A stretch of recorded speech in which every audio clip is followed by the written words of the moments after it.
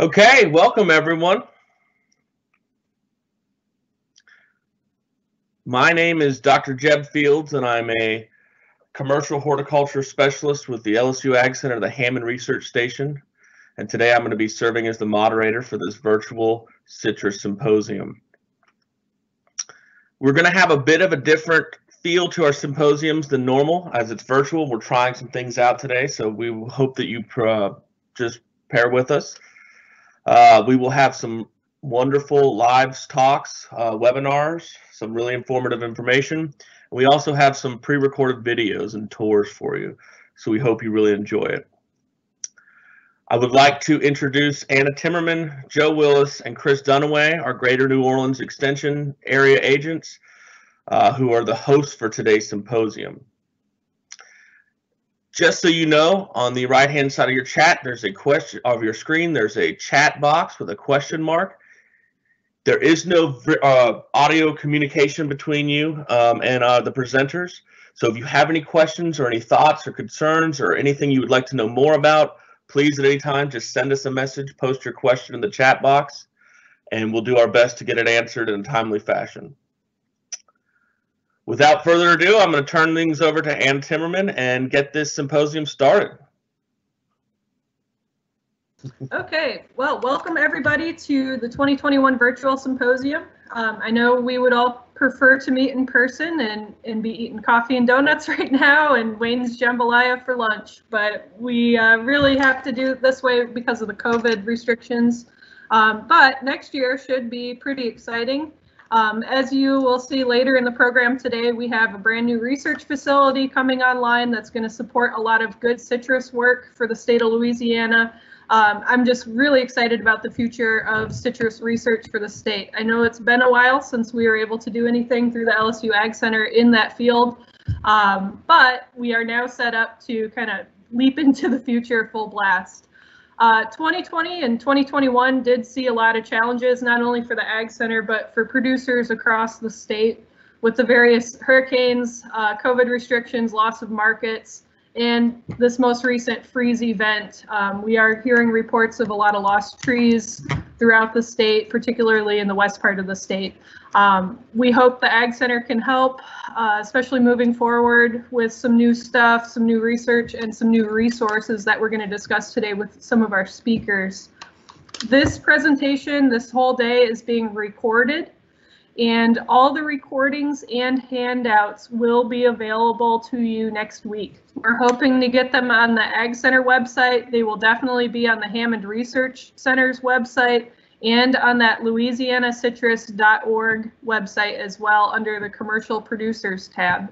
Be sure that you're checking that tab pretty frequently. We do post LDAF updates and any new information regarding quarantines, um, any new research or materials that we find interesting, and you can kind of keep tabs on what we're up to um, in regards to citrus production, citrus research in the state. So that's a good resource um, that I want to make sure you all know about. Um, with that, I'm going to introduce Dr. Joe Willis.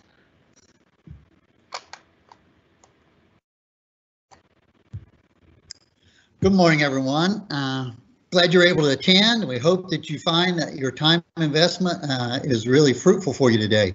I want to let you know that uh, the symposium is geared more to uh, professional growers, but the Ag Center is interested in helping everyone, uh, as you can see there, make your gardening endeavors more fruitful. And with that, I'd like to uh, announce that we uh, are going to be producing a series of courses.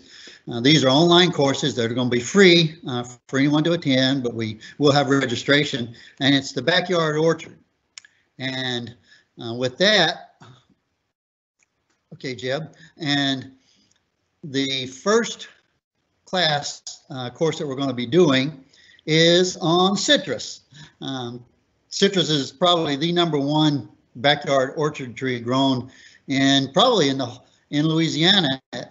I know in the southern part of Louisiana, but um, definitely in um, th that part. And so, as you can see, the citrus course, it's going to be broken up primarily into like five major categories. You can see there, we're going to talk about the citrus types, the citrus varieties, uh, planting your citrus tree, annual maintenance. With annual maintenance, we're going to be including pruning and irrigation and fertilization and all those things. Uh, then we're going to go through some of the common problems you might run into, arthropods, which would include insects, mites, and all those guys, the common diseases, and common abiotic disorders. And this will be uh, geared primarily to the homeowner, and we will uh, launch this course on March 8th. And it's going to be on, fit. we'll announce it on Facebook, on the LSU Ag Center website, and various other area, uh, areas. But if you have any friends who have citrus in their backyard and are interested, uh, let them know this course is going to be there for them. And to register, as you can see down there at the bottom, we've got a, a shortened uh, registration, uh, just tinyurl.com slash citrus course. Uh, if you go there, uh, you can register for the course and then uh, all registrants will be sent announcements when the course goes live as well. So thanks for attending.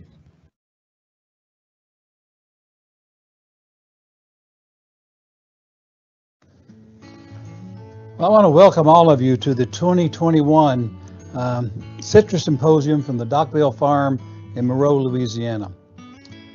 We're doing this virtually. Unfortunately, we are because of the pandemic is going on, and we want to do everything we can to protect the health and safety of our clients as well as uh, the people who work for the LSU Agricultural Center. So bear with us. Maybe next time we do this, we can do it in person. You have an opportunity to tour the Louisiana Citrus Center for Excellence at the Dockville Farm. Uh, it is called Fuse, which is fruit under screened environments. We've got to find new ways to grow citrus in Louisiana uh, because of the climate we work in. The center will move uh, the research and activities of the Agricultural Center forward.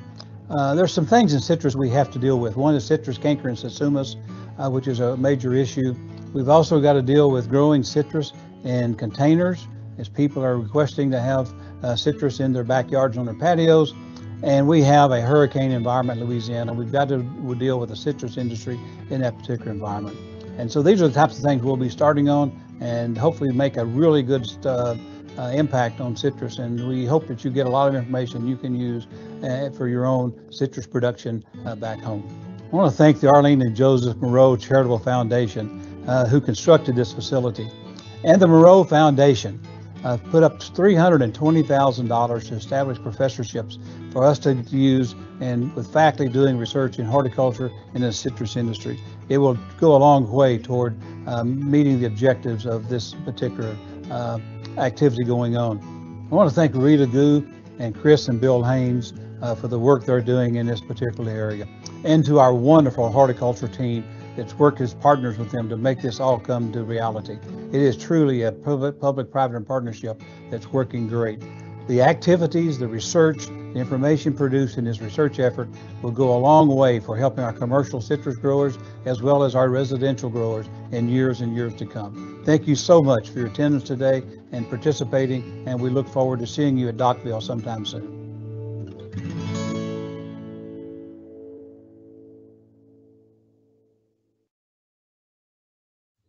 Hello, I'm Dr. Mike Salassi, Program Leader for Plant and Animal Sciences with the LSU Ag Center, and I'd like to welcome you to this 2021 Virtual Citrus Symposium. We've got a good program agenda today of presentations that we hope you'll find interesting and informative. We're especially excited for you to see the new research facility at the Dockville Farm. This is going to greatly expand our potential to do citrus research, and we certainly want to thank the Meraux Foundation for their generous support. Citrus production is an important sector of Louisiana agriculture, and the LSU Ag Center's mission is to do research and extension that addresses the needs of the citrus industry in the state. We are always welcome to input from the industry to help guide our research and extension activities. We want to thank you for your interest and participation in this event today. We want to thank you for your support of the citrus research and extension work that we do in the Ag Center, as well as for all of the research and extension activities the Ag Center conducts across the state.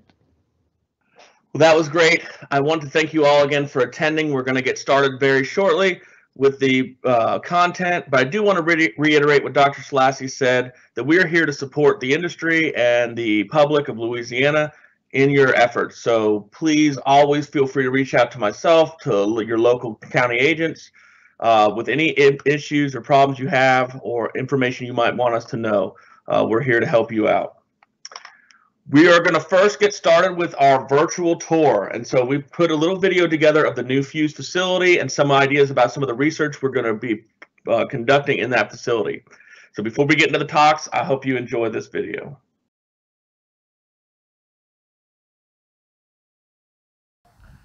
Good morning. My name is Jeb Fields and I'm an extension specialist with the LSU Ag Center Hammond Research Station.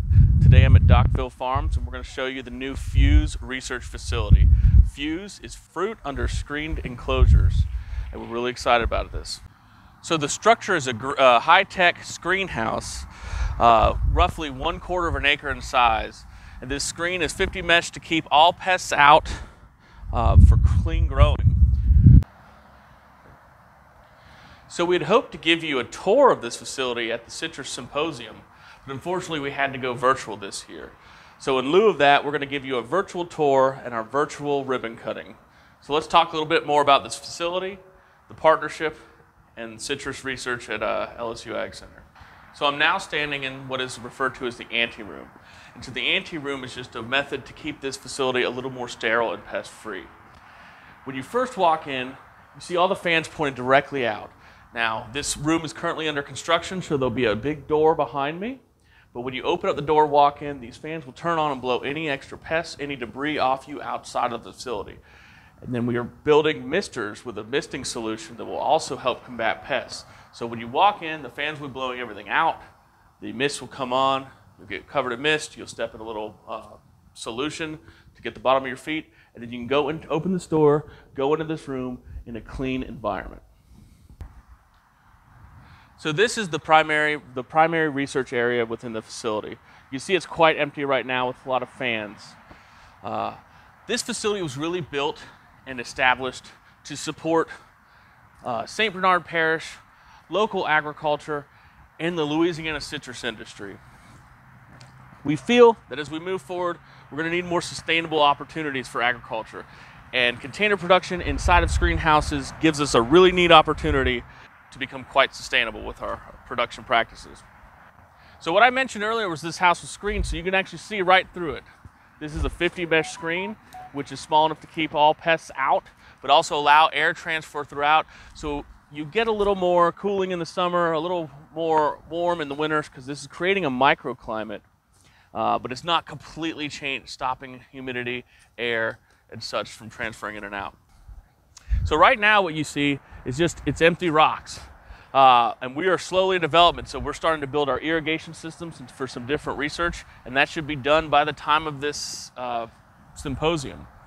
So next year, when you come out here, we'll be happy to show you, we'll have over five, 600 different trees in this facility alone, all doing different research projects. So while this is a long-term research facility, we have a few projects that we're gonna be planning on right away.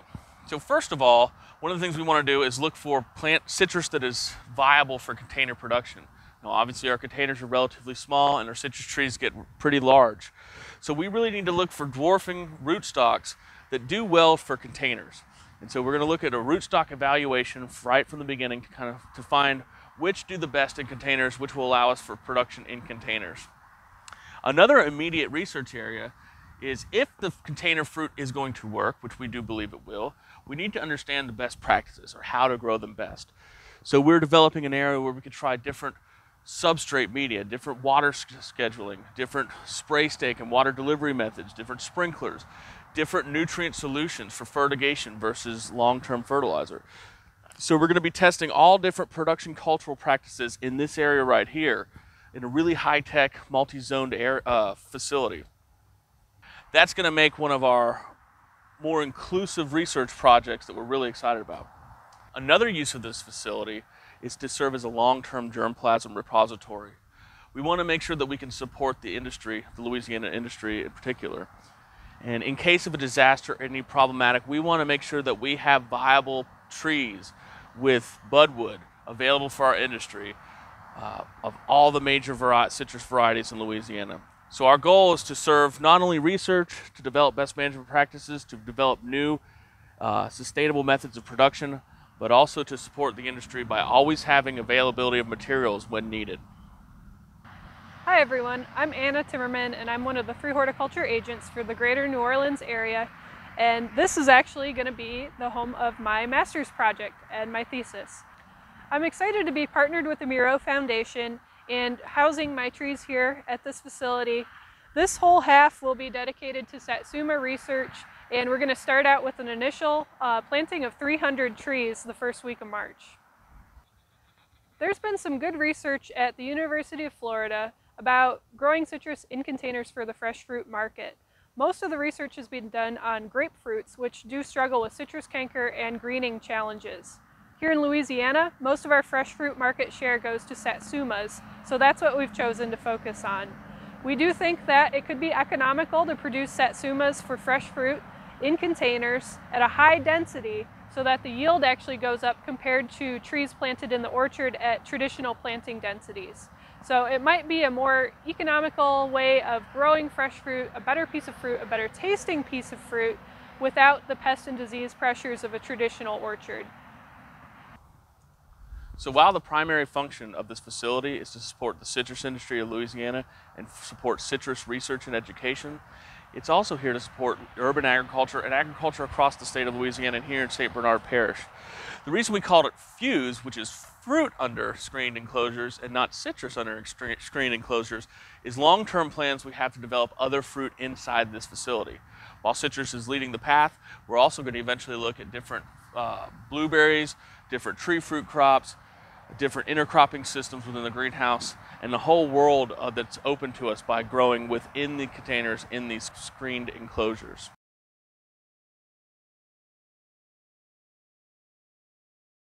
Well, we're really excited about the Fuse facility and the upcoming research that we have going in. We hope you are too. Uh, we want to remind you by next year, uh, this research will be up and running. Obviously, it should be up and running here in the next month or so as we move out of these cold weather. So we can't wait to show you in live, in person, uh, a visit to that facility for the next Citrus Symposium. I'm going to now play a quick update from the LDAF.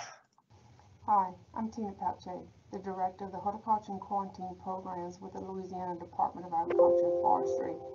I um, just want to provide you a few updates from our department today.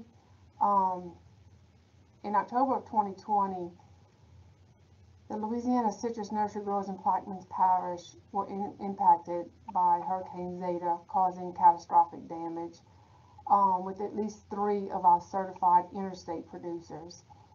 Um, on November 25th, USDA issued emergency action notifications to all three of the citrus nursery stock producers on the, their breached greenhouses.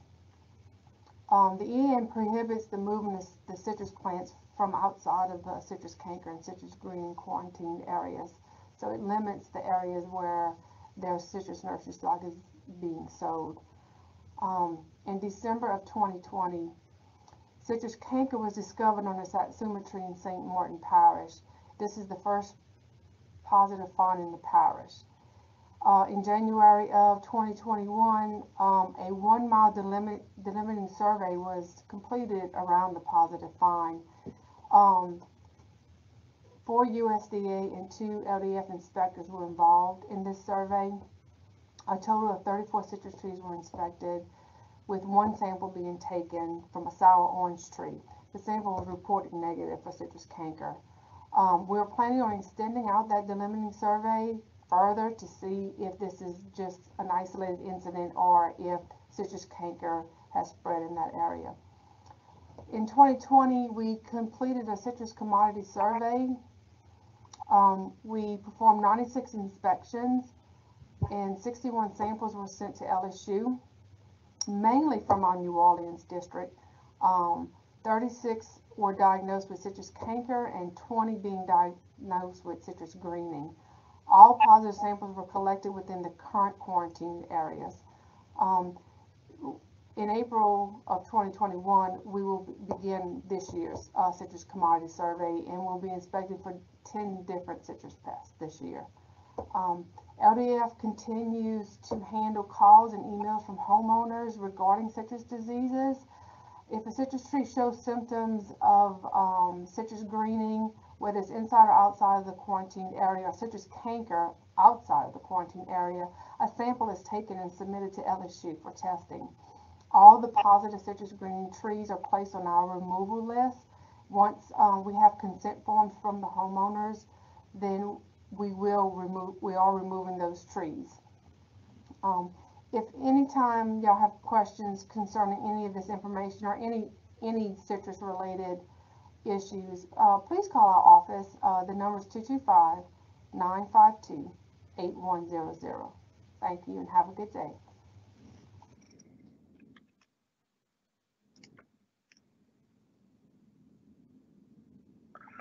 Okay.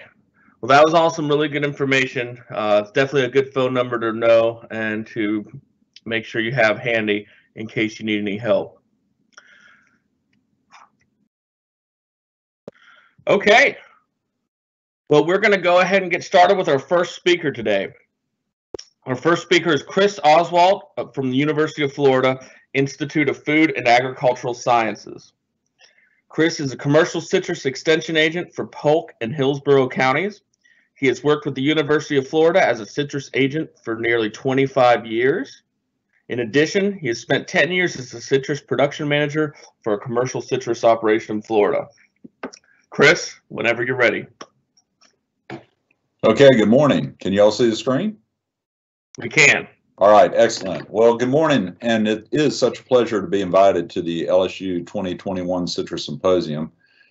And what I really want to do is share with you all today is a presentation on the development of a citrus artificial intelligence or AI app to diagnose nutritional deficiencies, diseases, and some pests in the field.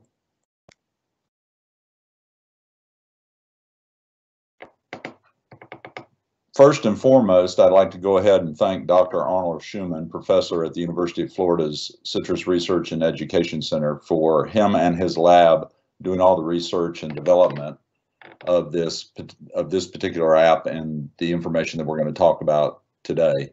Also like to give Dr. Schumann credit for the presentation he allowed me to use parts of his presentation, the majority of it, from a talk that he did back with us for a grower OJ break we did back in January of this year. So I want to make sure that I acknowledge Dr. Schumann and his lab for all the help that I've gotten in being able to put this together for you all today.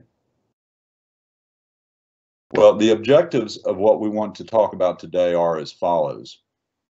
We're going to look at using leaf symptoms as a tool for diagnosing, diagnosing, excuse me, nutrient deficiencies, diseases, and pest management, and why is that important?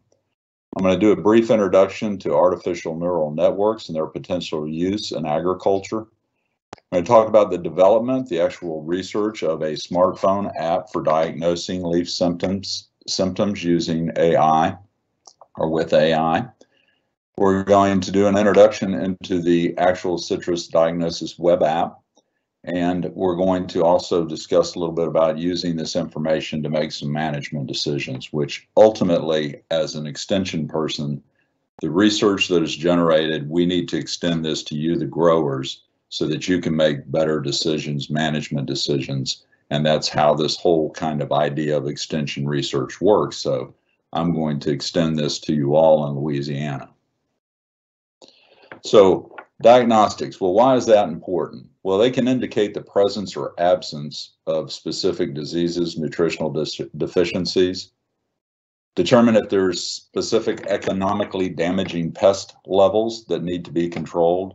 There are also many uh, times that you can find distinct patterns associated with herbicide uptake in the in the foliage of leaves, which is important in diagnosing those types of things. There's things like salt damage that also occur, whether that be spray damage or by uptake, and sunburn on some varieties of fruit that are exposed to sunlight on the exterior canopy of trees. So these are all things that tell us something about the condition of a plant and its diagnostic.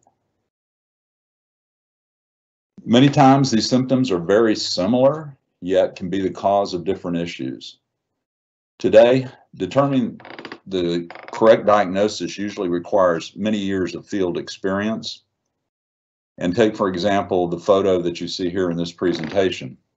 Now, as an as an expert with lots of experience, I would look at those leaves and I said I would I would put that in a class of categories. Is that nitrogen deficiency? Is it Phytophthora? Or could it be girdling of that particular stem? Well, based on my experience, diagnostically, I would think without knowing anything else but this picture that that would be girdling. And the way and the reason why I would say that is that that appears on the new foliage. Typically, nitrogen moves out of old foliage to new foliage, so you would expect it not to show up so much in the new foliage because it'd be moving in. If you look in the foreground or the background, excuse me, of that picture, You'll notice that the leaves are green on the balance of the tree. So that leads me to believe that it's probably not Phytophthora because typically that disease progression is such that by the time you see the veinal chlorosis, it's, uh, it's over the entire tree. So that's what this diagnostic thing can help us do. And that's where I think this app is going to come in and help a lot is discerning some of these differences. And with, uh, again, demonstrating the subtle differences in symptoms can oftentimes mean an entirely different type of corrective action. Varying symptoms that are specific to diagnosis, as this slide says. If a disease exhibits a pattern similar to a nutritional deficiency, typically you don't want to go out and spray manganese for iron deficiency, or you don't want to spray for iron or manganese for something like um, a greasy spot infestation where you have a distinct pattern on the leaf, but you're not sure what it is. You don't want to go out and treat the wrong symptom based on not correctly diagnosing the situation at the time. As in Florida, the diagnostic, the correct identification of nutritional deficiencies is critical when associated with an endemic HLB environment. So we have HLB. It's nearly everywhere. Well, it is everywhere, probably close to 100% infection. And with that infection, there comes some nutritional deficiencies that typically show up associated with that disease. And it's important because some of the research that we've seen, these minor elements that are deficient can oftentimes be beneficial if applied correctly. And a key to this is the correct identification of those deficiencies that allow us to choose the appropriate type of fertilizer to go in and treat these trees to try to improve the condition of the disease. And disease and pest symptoms on citrus leaves can also cause chlorotic patterns can, that can sometimes be mistaken for nutritional deficiencies. Probably more so with something like greasy spot, maybe something like spider mites and HLB. If you look at those two uh, leaves together there, the spider mites and the HLB. That blotchy mottle kind of pattern that's not um, symmetrical from one side of the leaf to the other um, can sometimes, if you're inexperienced, be confusing. And with greasy spot, you can have some of that spotting too and that yellowing on the upper surface of the leaf rather than the bottom. And sometimes even you can mistake greasy spot, initial greasy spot infection for maybe the initial infections with citrus canker. So these are some of the things the diagnostics can do that, if they're done correctly, can help us determine exactly what the course of action may be. So now that we've talked about the importance of this in relation to production, let's switch gears a little bit and then we'll talk about what has happened with these artificial neural networks. And artificial intelligence, and as we have developed here recently, these deep learning models can help because they're fast and very accurate, especially these deep learning ones.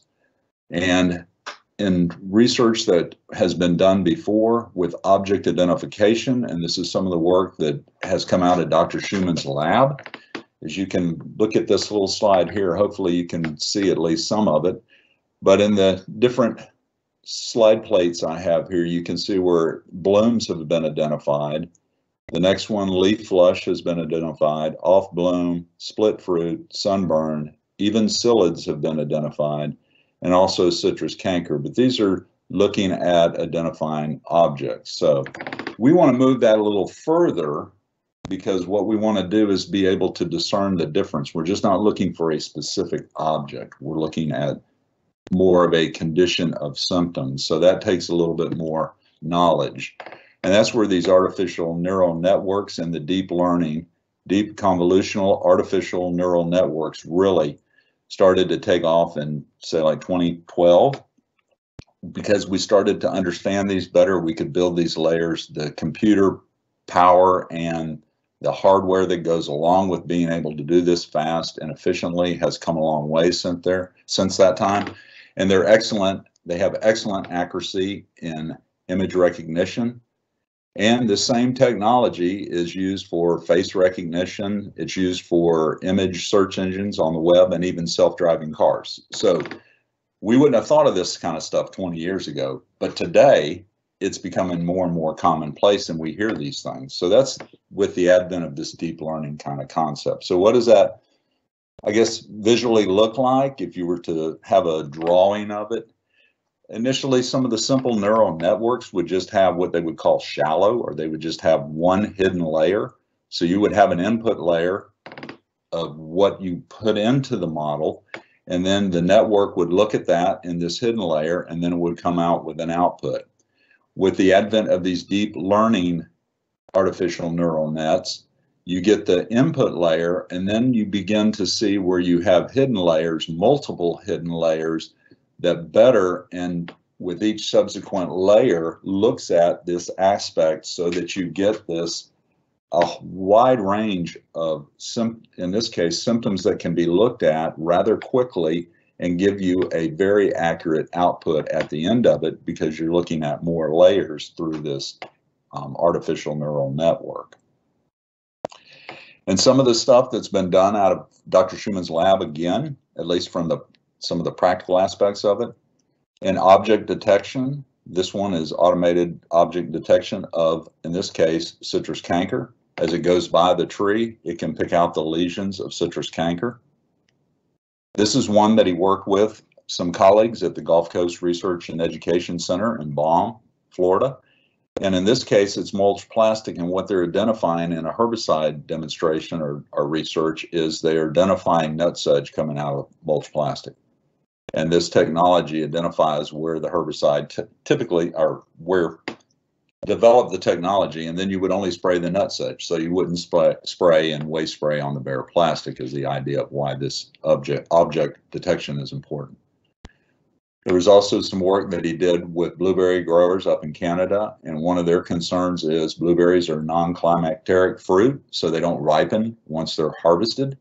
So they need to be picked at the right quality, and quality is related to color in blueberries. So this detects the blueberries that are ripe so that when it, you know, you would take this technology through the field, you're determining when to pick because nothing's going to be ripe all at the same time.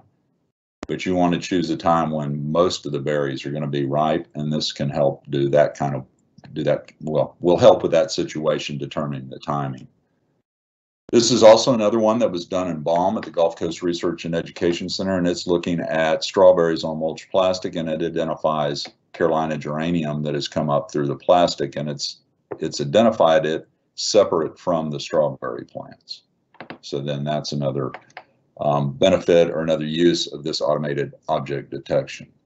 So now we talked a little about about the neural nets and why it's important to get diagnostics right. Now we're going to actually go into the science behind development of this smartphone app. And this was a Masters of Science program done by um, Percy and Dr. Schumann's lab, Mungofa. And the hypothesis was that there would be an AI, artificial intelligence, machine vision diagnostic system may outperform the diagnos diagnosis done by novice and expert scouts. So that was kind of the premise from which this project was based. And the objectives of the research project was to train a deep convolutional artificial neural network to recognize nutrient deficiencies, pests, and diseases on citrus leaves. Then to validate the performance of the trained network to identify symptoms on new and unknown leaf samples, then to compare the model predictions with diagnoses that were made by nutrient concentration measurements, in other words, doing leaf analysis, and with human experts. Human experts would definitely come in into play when they weren't nutritional deficiencies because obviously you can't necessarily send off spider mite damaging and have that come back from a analytical lab.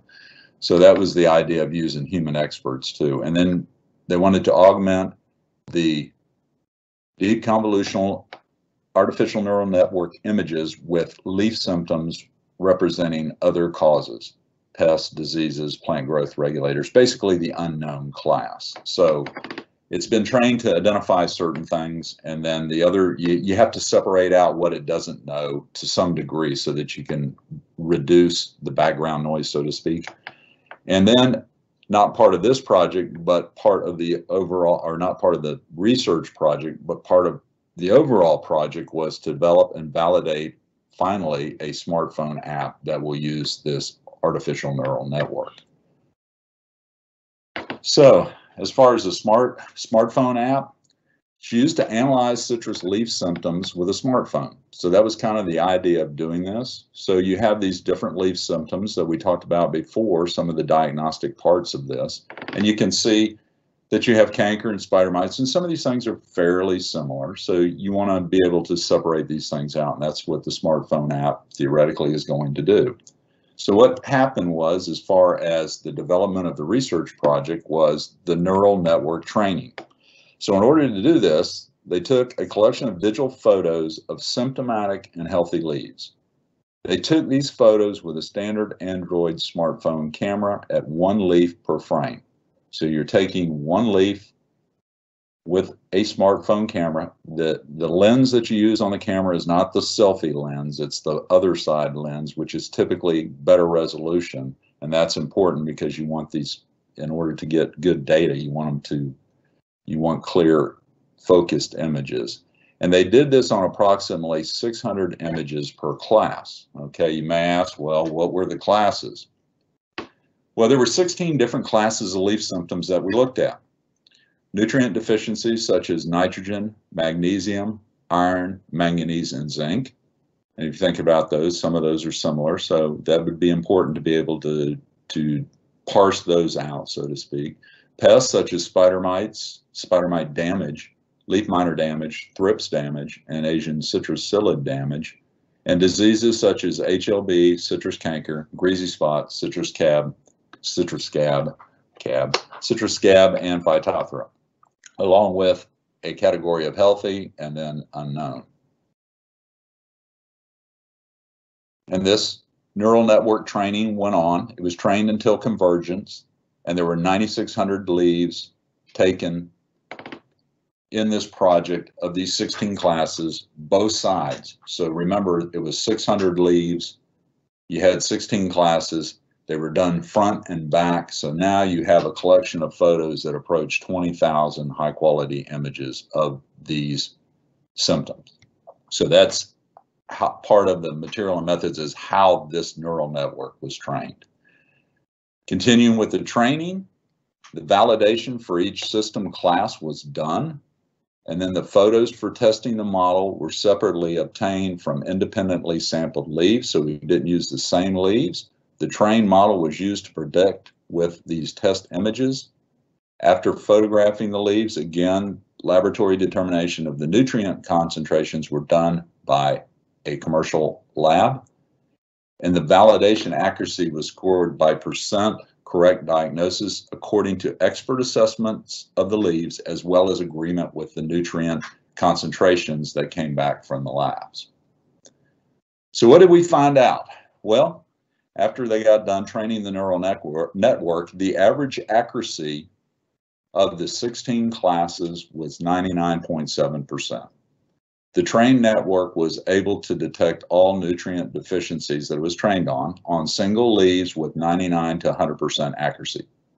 It was able to distinguish between subtle differences in chlorosis expression between different symptoms, including dual symptoms like manganese and zinc, iron and manganese, and HLB. And this distinction between multiple, multiple symptoms is quite beneficial in real world applications because it oftentimes, it's oftentimes very difficult to parse out these multiple symptoms strictly by visual observation. I think a lot, at least from an experience standpoint, you would look at the leaves, you would identify the major deficiency, you would treat that deficiency if it was subtle, a second one that was subtle behind it, you wouldn't notice it until you treated the first one. Wouldn't it be great if you could treat both of them because they were there at the same time? So that's kind of the nice thing about what this app kind of does is it looks at those and it comes up with these combinations of symptoms many times. And there's also some nuances as far as with diseases. Um, there are leaf surfaces difference differences in pests and diseases from time to time. I'm thinking of pests, you would think leaf miner, it's on the back side of a leaf typically. Um, and in this case, we're looking at the symptom lesions of canker and greasy spot. They're strongly developed on the lower surface of the leaf. And the model from a prediction accuracy standpoint is significantly higher for greasy spot on the lower surface versus the upper surface because that is where the infection initially begins is on the lower surface of the leaf. So if it's an initial infection, it does a much better job uh, if you take a picture of the underside of the leaf versus the top side of the leaf. It still does well with the top side of the leaf, but from an accuracy standpoint, the bottom side with greasy spot seems to be a higher accuracy. And then the differences for were non-significant for citrus canker since typically the lesions, once they start on the bottom, they penetrate the entire leaf surface, so it shows up on the top and the bottom. They also trained the AI image classification models, and what they wanted to do was compare these to novice individuals and expert humans at diagnosing leaf symptoms. And I have to apologize somewhat for this slide. It didn't come out as well as I thought it would. But these are confusion matrix that were done by Percy on her master's thesis. And what this shows is if you look at the predict on the on the left panel, those are the experts. The novice are on the right side. The left side, if you look, the darker green means that typically for healthy leaves, the experts got 100% of what it really was. And so the darker green means that you were closer to being 100% at your predicted label, what you think it is, and what it actually is. So that kind of shows you on there that a lot of the experts, you see a lot more green down that center, diagonally center, and then you do over with the novices what you would expect. Now, one of the things that's nice about this app is that it can help you pull out differences in that are subtle because many times some of the, the symptomology is very similar for something like nitrogen deficiency and phytophthora, like we mentioned before when we're looking at diagnostics. So if you looking at this confusion matrix, that's typically where you see the experts somewhat falling a little lower than 100% or close to 100% is those things that are very similar and there are very subtle differences. Can the app pick these up and then be able to help us do a better job of doing that? So what is this smartphone application actually? Well, what you do is you load up the, the app itself, and I've got a, I'm to have a short little demonstration on how you get signed up and everything for this, so you can all start using it just, um, just as soon as we get done if you want. Well, what you're going to do is you're going to open up the app itself. You're going to take a photo of a leaf. You're going to fill up the screen with a leaf. You're going to use the photo. You're going to submit the photo, and then it's going to give you a result. And this typically happens in a very, very short period of time. And we've got some demonstrations of that that I'm going to share with you. This is an example of the page itself on your smartphone. What it typically will look like is you'll take the picture, you'll submit it, and then what comes back is this indication of a percent from the model on what that symptom is. So you'll see in this first panel that it's 100 or HLB at 99%, greasy spot at 92, and iron at 98. So that's kind of what the results that you'll get back will look like. Now, sometimes you might get a couple and sometimes you might get unknown, which you can address differently. And we'll talk about that here in a little bit. As far as the app itself, I've got a few little quick little videos here. Hopefully these show up for you that demonstrate how this should be used in the field to kind of give you an idea instead of leave you out here hanging.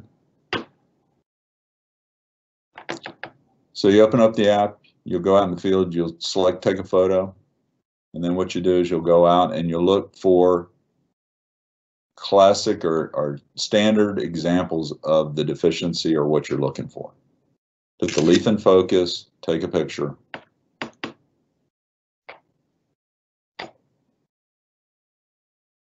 So it comes back 99% iron. And then there's more information. You click on more information, it takes you to a page that shows you a little bit more about iron deficiency to, to uh, reinforce the diagnosis, so to speak. And then if you click again, you can go and you can see the recommendations for treating iron deficiency in Florida.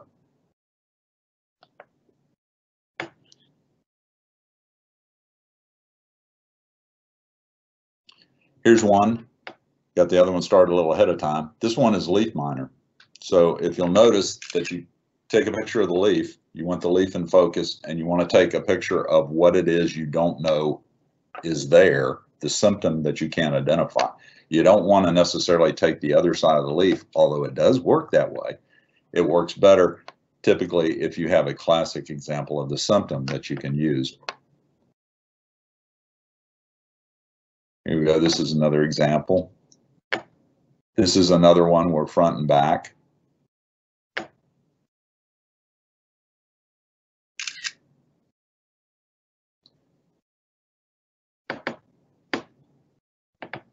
So you take a look at the back side of the leaf and it's 100% greasy spot.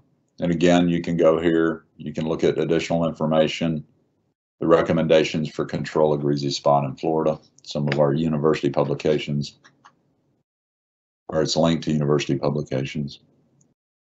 And I believe now it will demonstrate using this app, the same leaf, we're going to flip it over, take the top side, has good greasy spot symptom development. Comes back 100% greasy spot. Gotta figure out how to get to that one. Oop. Well, I think I got them too close together here. And maybe I can play that one. Oop. Well, we may have to uh, forego this one right here. Um, oh, here we go. It is going to play. I'm sorry. Got them too close together. Here's just another quick example of looking for representative representative symptoms and then making sure that you collect one that looks typical to the ones that you're trying to identify.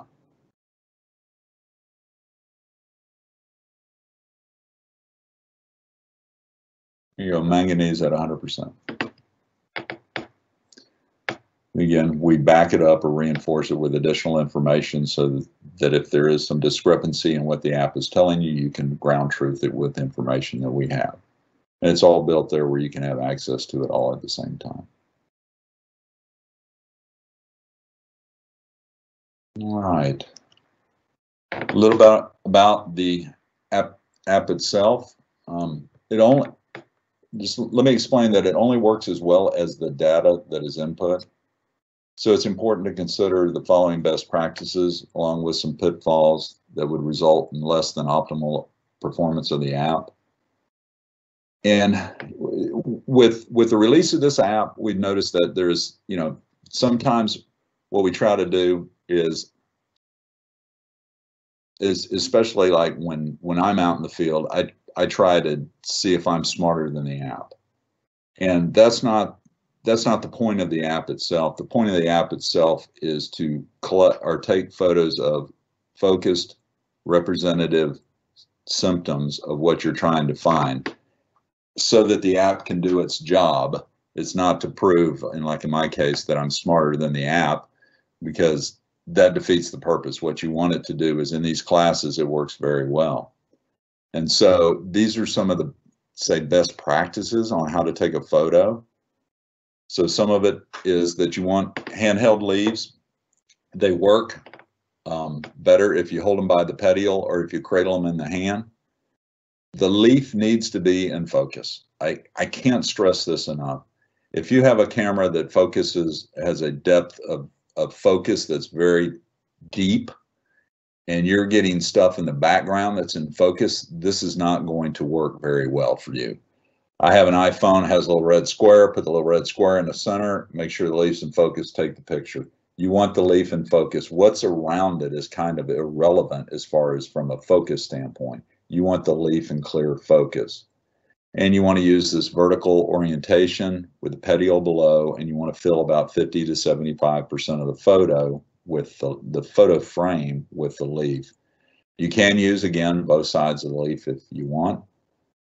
Um, so that's kind of the idea of what a good photo is. Now, what you don't want to do is you don't want to use leaves that are covered with water or sooty mold or dust or other things like that.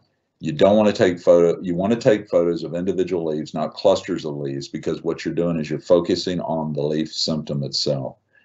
You want to try to avoid artificial bright backgrounds that produce, that will produce unpredictable results. You avoid want to hold, you don't want to hold the uh, leaf in a horizontal position because the frame typically is more vertical than horizontal. You don't want it to be so far away that it's out of focus or that it focuses too much of the background and not of the symptom itself. And one of the things too, that if you take this and you go outside and you do it in direct sunlight and take a picture of a leaf, sometimes the reflected light off of that leaf with that camera isn't going to come back and give you an optimum response because the leaf is typically can be overexposed. So you don't want to necessarily do it in bright light, but you don't want to do it in the dark either. So you want to do it, take a photo of a leaf that has typically good contrast, that's that's visible, good contrast, so that it can give you the results that you're looking for. Well, now, next what I'd like to do is I'm going to play a uh, video on instructions on signing up for the app. This is, we're not computer programmers, and this is a smartphone app that is web is, is web based. It's it's not one that you go to the Google or iPhone store to get. We're we're running it off of a server. So what I've got is is because of that, there's some you know some nuances to signing up to it and we've had some trouble with that. So I thought I'd go ahead and demonstrate how that's done, what you should expect if you do this. The procedure I'm going to do is on a laptop in my office, or you can, it's laptop, desktop, it's done on the web on, on a browser. So that's kind of how I'm going to demonstrate it with this video. But it's basically the same procedure if you're signing up on a smartphone. And there are additional videos that when you go to the sign up, if you do it on your phone, they're instructional videos on how to how it would look on a phone. It's it's very similar, but there is maybe a little bit of difference. You might get a little confused. So we're going to go ahead. Um, I'm going to hopefully play this, and I hope y'all can see it and hear it all right. And then that will help demonstrate how you go about signing up because it's kind of a two it's it is a two part process you need to sign up and then you need to get a validation or, or an activation email so we'll take a look at this now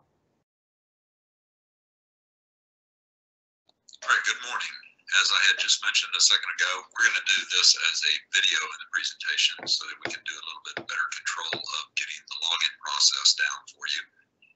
And what we want to do is we want to actually Google search on the term make citrus great again.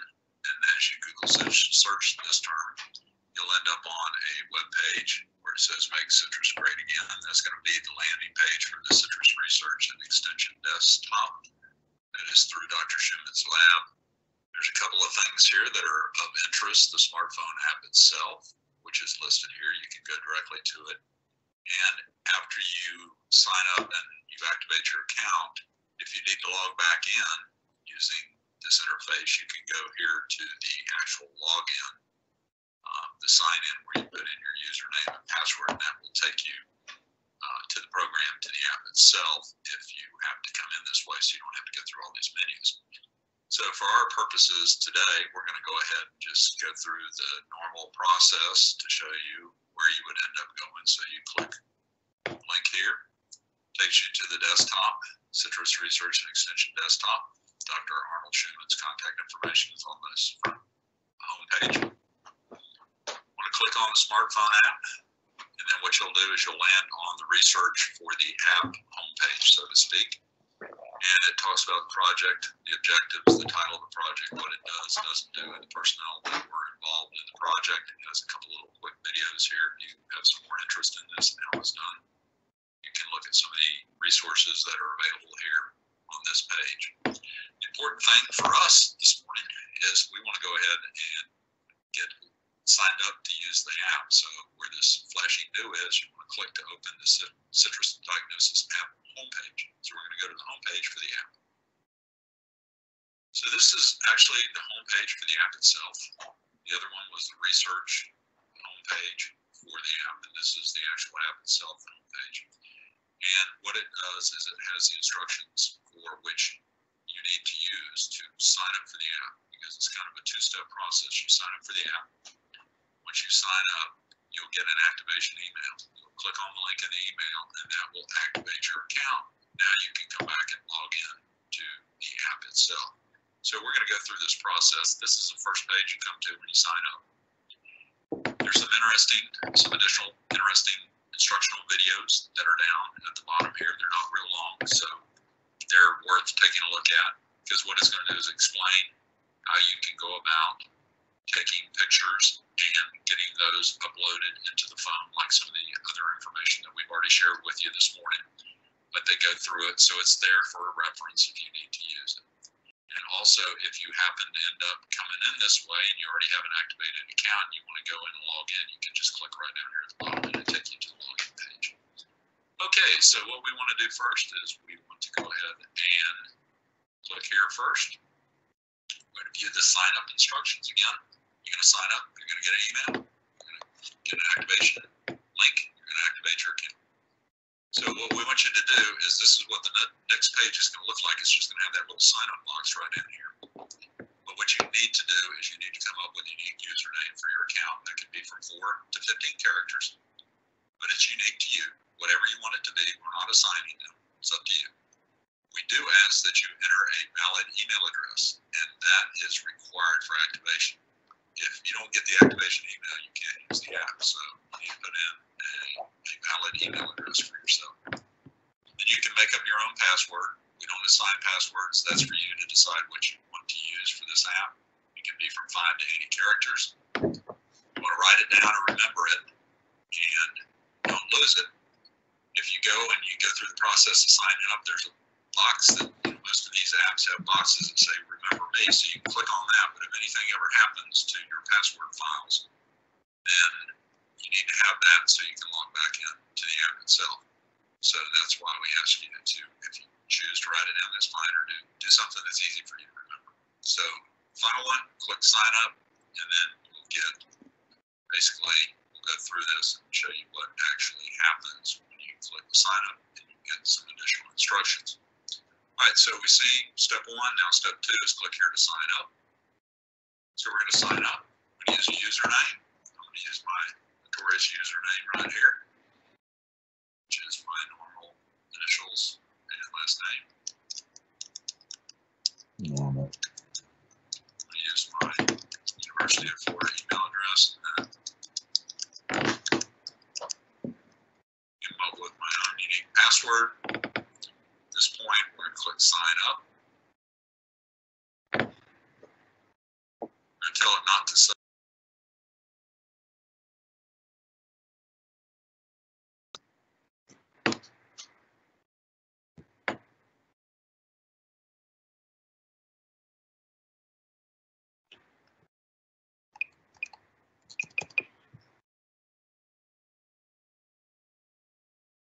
Save. Now we're going to come to this page where it says, welcome to the citrus diagnosis. And what we're going to do is click for instructions. Once we click here, there's another short video that can that will help you understand how to use the app. Notice right here this is important. Before you can actually use the app, log in to use the app, you need to get this activation code that's going to be emailed to you. So what we're going to do here is there's some additional instructions on look at these instructions, click here for some tips. Um, you can return back to the app. There's a few things here, and now what we're going to do is wait on that email and see what when it comes. Let me switch screens here to see if it has arrived yet.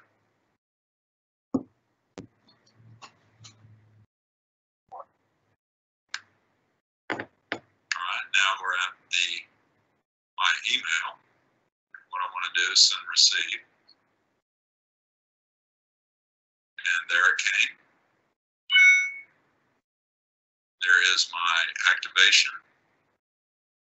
And there is my activation link. So now I'm at my email. I've got my activation link. Now I'm going to activate my account.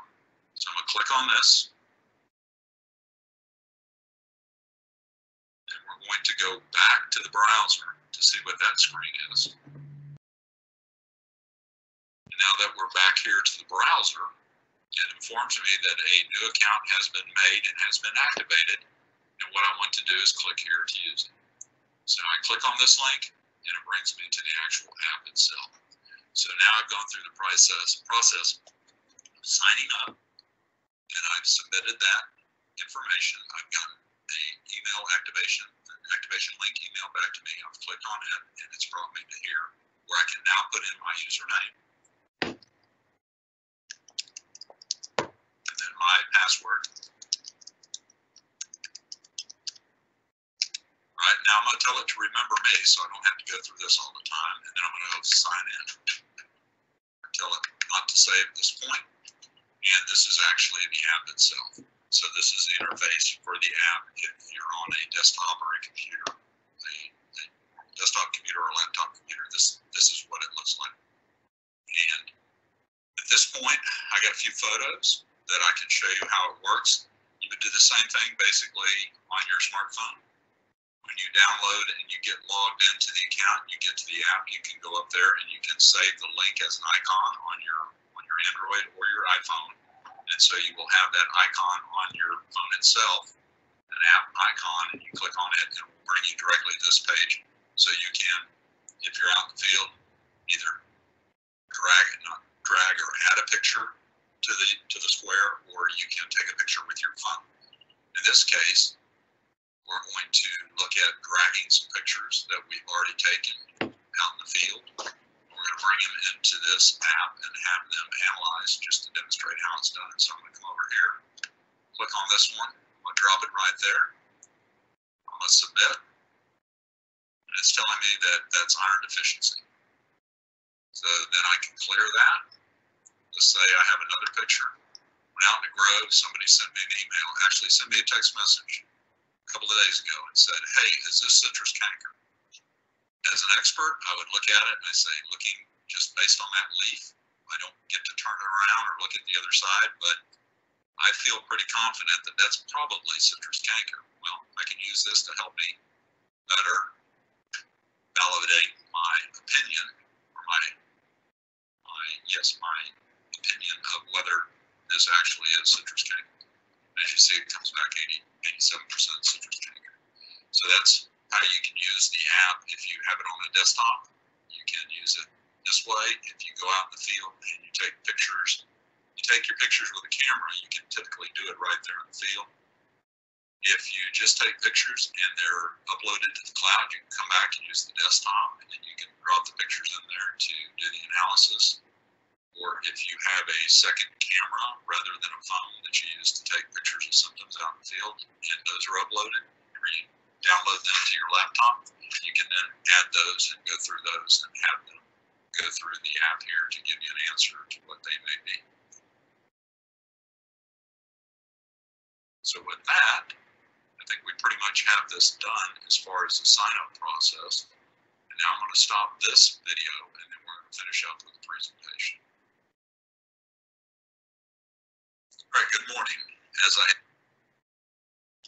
Okay, hopefully I'm back on track and y'all can hear me. And hopefully you saw the instruction video there to sign up. And one of the things about using on desktop is in Florida, there are places out in the woods, so to speak, where citrus groves are. And a lot of times those areas may not have cell coverage. And because it is a web-based app, they you, the pictures you take with your phone will stay with your phone. When you come into service, you can pull them back up and take a look at them. So from a standpoint of using it as an app on a laptop, that might be advantageous if you take some pictures and then when you come back into service, they'll get uploaded to the cloud. You can download them and look at them there or run them on your phone, just depending on where you are. It's kind of a, I think, a added feature to having that is being able to do that if you're out in an area that doesn't have cell service and you can't run run the analysis.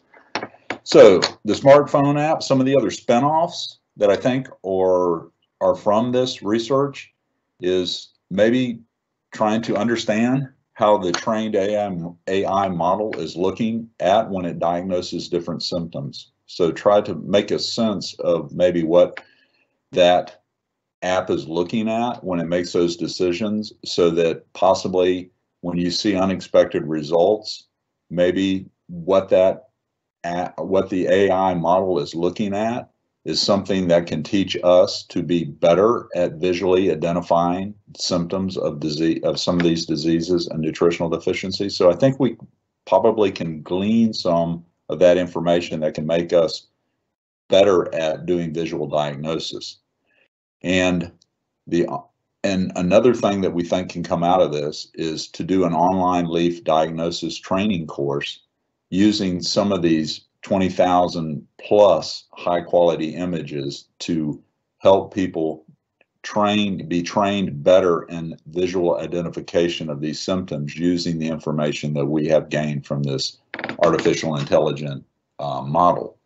And um, hopefully we're going to be able to add more diagnostic classes such as melanose sooty mold potassium deficiency and some of these things into the future so it's not a done deal um, teaching new skills, teach the teacher kind of thing. Um, one of the things that it does do is you'll look here, there's a couple of photos. One of them here on the left is nitrogen deficiency with yellow veins. Now you have iron deficiency with green veins and yellow, yellow interveinal areas. And what you can do is the app is able to pick up the subtle differences when you combine the two and you see the nitrogen plus iron deficiency with the interveinal chlorosis and yellow midrib. How, and and knowing how that works and what that app is looking at can hopefully teach us to be better at visually identifying symptoms in the field.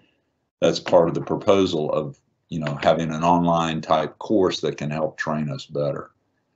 So conclusions, can an artificial neural network model successfully trained, be successfully trained to identify healthy or symptomatic citrus leaves, nutrient deficiencies, pests, and diseases? There was independent validation accuracy was 99 to 100%, with the mean being 99.7 and agreed with the expert diagnosis and chemical analysis. Additional leaves for new symptoms are being collected and added to the app once the model is retrained. And the trained networks are being deployed to smartphones for in-field diagnosis of citrus leaf symptoms to not only extension agents, growers, homeowners, master gardeners, homeowner, grower types, and it's available for you also um, today and in the future if you go to the website and sign up for the app. There are some acknowledgments that I'd like to make. Um, these are listed here, the CREC lab team, the Gulf Coast Research and Education Center, um, the ag teams, precision ag teams up in Canada, and also the funding, the HLB multi-agency coordinated MAC funds, USDA SCBI, USDA SCRI, the Florida Strawberry Growers Association, and the Wild Blueberry Producers Association of Nova Scotia. And there is Dr. Schumann's contact information, at least his email. If you want to know more about the nuts and bolts of the artificial neural net, Arnold would be the one to contact Dr. Schumann on that particular aspect. I'm the one that gets this out to you, explains it to you, gets it out in the field so y'all can use it. Um, and I had just one more little thing that I wanted to run over here as I finish up my time. As we go through this and we have used this app and we have identified some malady, what do we do with that information? Well, one of the things that we have in Florida is what we call this copper, uh, citrus copper application scheduler, and that's the website for it. It's on a website that's called AgroClimate. And one of the things that I'm thinking would be beneficial is looking at this from the standpoint of we know that copper acts as a fungicide and a bactericide. And with the app, maybe we go out and we identify that there's a certain pathogen that's out there that is susceptible to that is that it causes a problem, but is can be controlled by something like copper, such as in this case, citrus scab, melanose, maybe greasy spot, citrus canker, or alternaria. And citrus canker, greasy spot, and scab are already built into this AI app. So if they identify those, then a typical control measure in Florida would be the use of copper fungicides or with canker bactericide.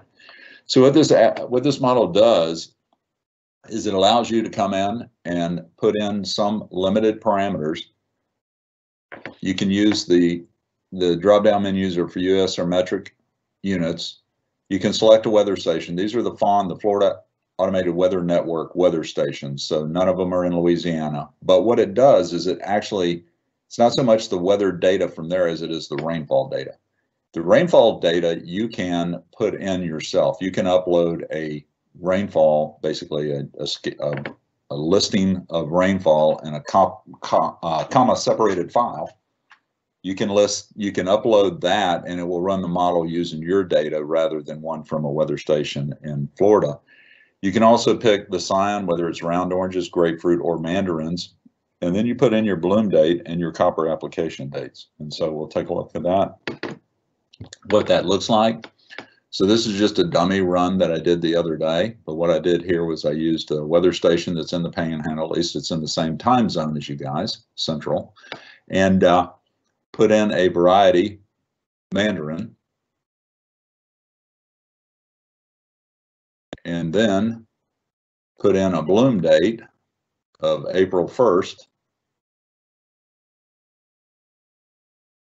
And then ran the different, the date along with the dates of sprays. And what you can do is you actually put in the concentration of metallic copper along with the volume of water that you used in the sprayer. And then what that does is it goes through and as you can, if, if you look at the graph, you can see where the rainfall occurs is in blue. And then you can see the amount of residual copper is the graph itself. So as that graph, as you add copper, make a copper application, the residual copper goes up. And as time goes and you get rainfall and or fruit expansion, this model also considers fruit expansion, that you can see where the residual copper is. And when it gets in close to that danger threshold, you can make another application of copper. So in that regard, it will help you schedule your copper for some of these diseases so you can better have an idea when to spray. How well it works in your area, you have spray schedules that you use. You might run this model in, in concert with what you're already doing to see how well it ground truths. But it's something, some additional information that you can put in to this model and compare to what you're doing to see if it could potentially provide you some additional benefit. And like I said, what it does is the simulation um, details, you can look at those. And actually what it does is it takes day, days from bloom. So it's considering the fruit growth and expansion, residue of copper, also considers rainfall. And then when you make those copper applications. So that's kind of a way that I kind of tied in the identification of using this AI, this app with something like greasy spot or citrus canker. Well, let's say citrus canker for fruit and scab. And then you can bring that information back in because now you're going to use copper to protect the fruit. And so you can use this copper model. So they all kind of tied together, you know, to, to provide you with a, a better, potentially uh, more efficient way of managing your particular citrus crop. So with that, that is the end of my slideshow and somebody can, I think, take over. Jeb, you there? Yes, I am. All right. Well, Chris, that was fantastic. Thank you so much. Um, that's actually really neat. Uh, it's a wonderful tool that I'm pretty sure we're going to use for sure, and a lot of our um, clientele will be really excited about. We have a few minutes. If anyone has any questions for Chris, please just put them in your live Q&A and we will ask him. Um, and we'll go through that and give you just a couple minutes to see what we get. Hey, Jeb, did you see? So everyone knows just how easy it is. Chris and Anna have already quickly gone on and signed up for the app, and Chris has already done some testing on citrus in his yard just now. Excellent. Yeah, it's it looks really, really nice. Actually, I'm I'm really excited to use it.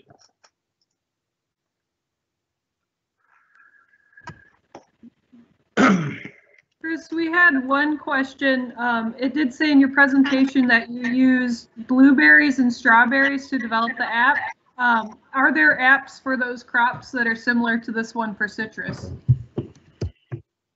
Thanks, Anna. No, what that was, was it, uh, it was object detection. It was to identify. It's not developed, has been developed for those crops and as much as looking at, you know, potentially diseases on strawberries. It was basically to identify and separate out on an object basis uh, a weed Carolina geranium from a strawberry plant when it was in, planted in the field. So it's not that part of it was just more to detect an object rather than do a diagnosis. Perfect, thanks.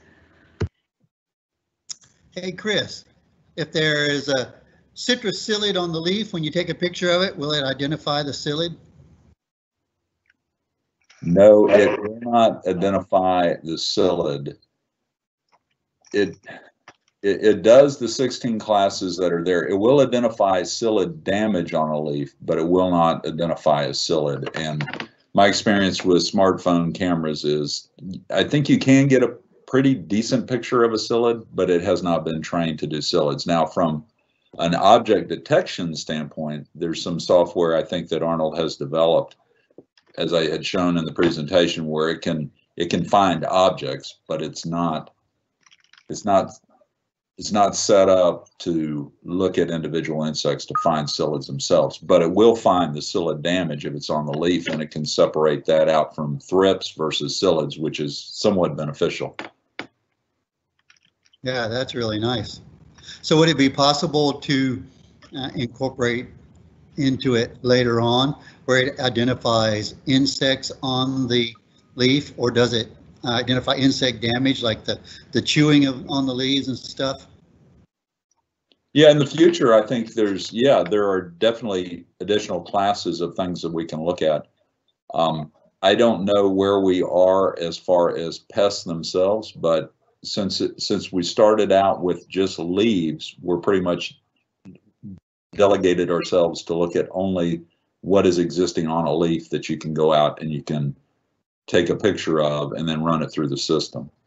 Um, as time goes on, we can add additional classes, whether those be live insects or other insect damage for sure. Insect damage on a leaf for sure. We could add additional information on that should be able, I would think, to do, you know, some stuff with, um, you know, with some insect, additional insect damage that shows up on leaves and, and maybe branch out into, you know, insects and things like that, rather than just the, they'll still be on a leaf, but hope, you know, maybe we could get that to identify them. It should, I, I think it should be able to be done.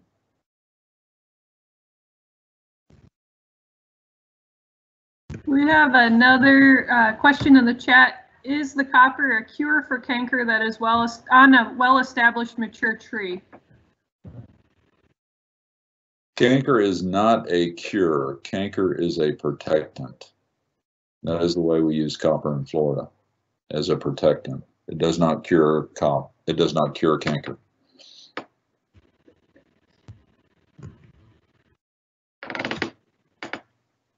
All right. Any last questions before we uh, thank Chris one more time? Great. Well, Chris, thank you so much. This was fantastic, very informative. I'm really excited to go download this app and start using it. Uh, and I look forward to potential growth in it.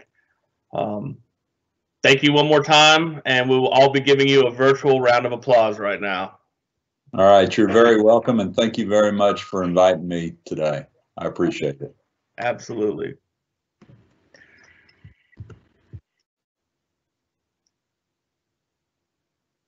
Okay, before we get to our next speaker, I'm going to play a short clip from the Meraux Foundation. These are one of the primary sponsors of the Citrus Symposium and uh, the Fuse facility.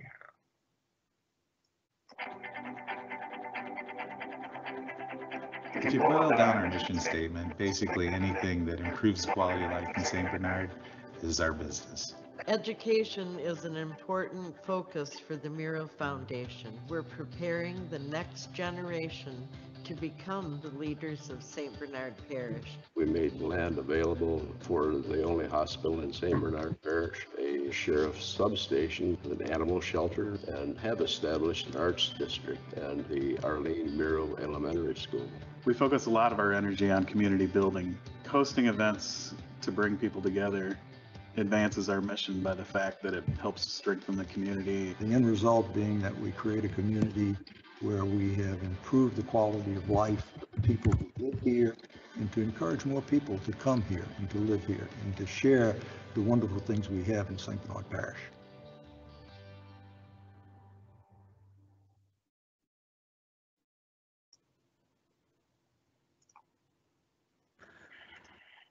Okay, while we wait uh, for our next speaker to load up her slides, I just want to mention one more time thank you to the Meraux Foundation and Docville Farms.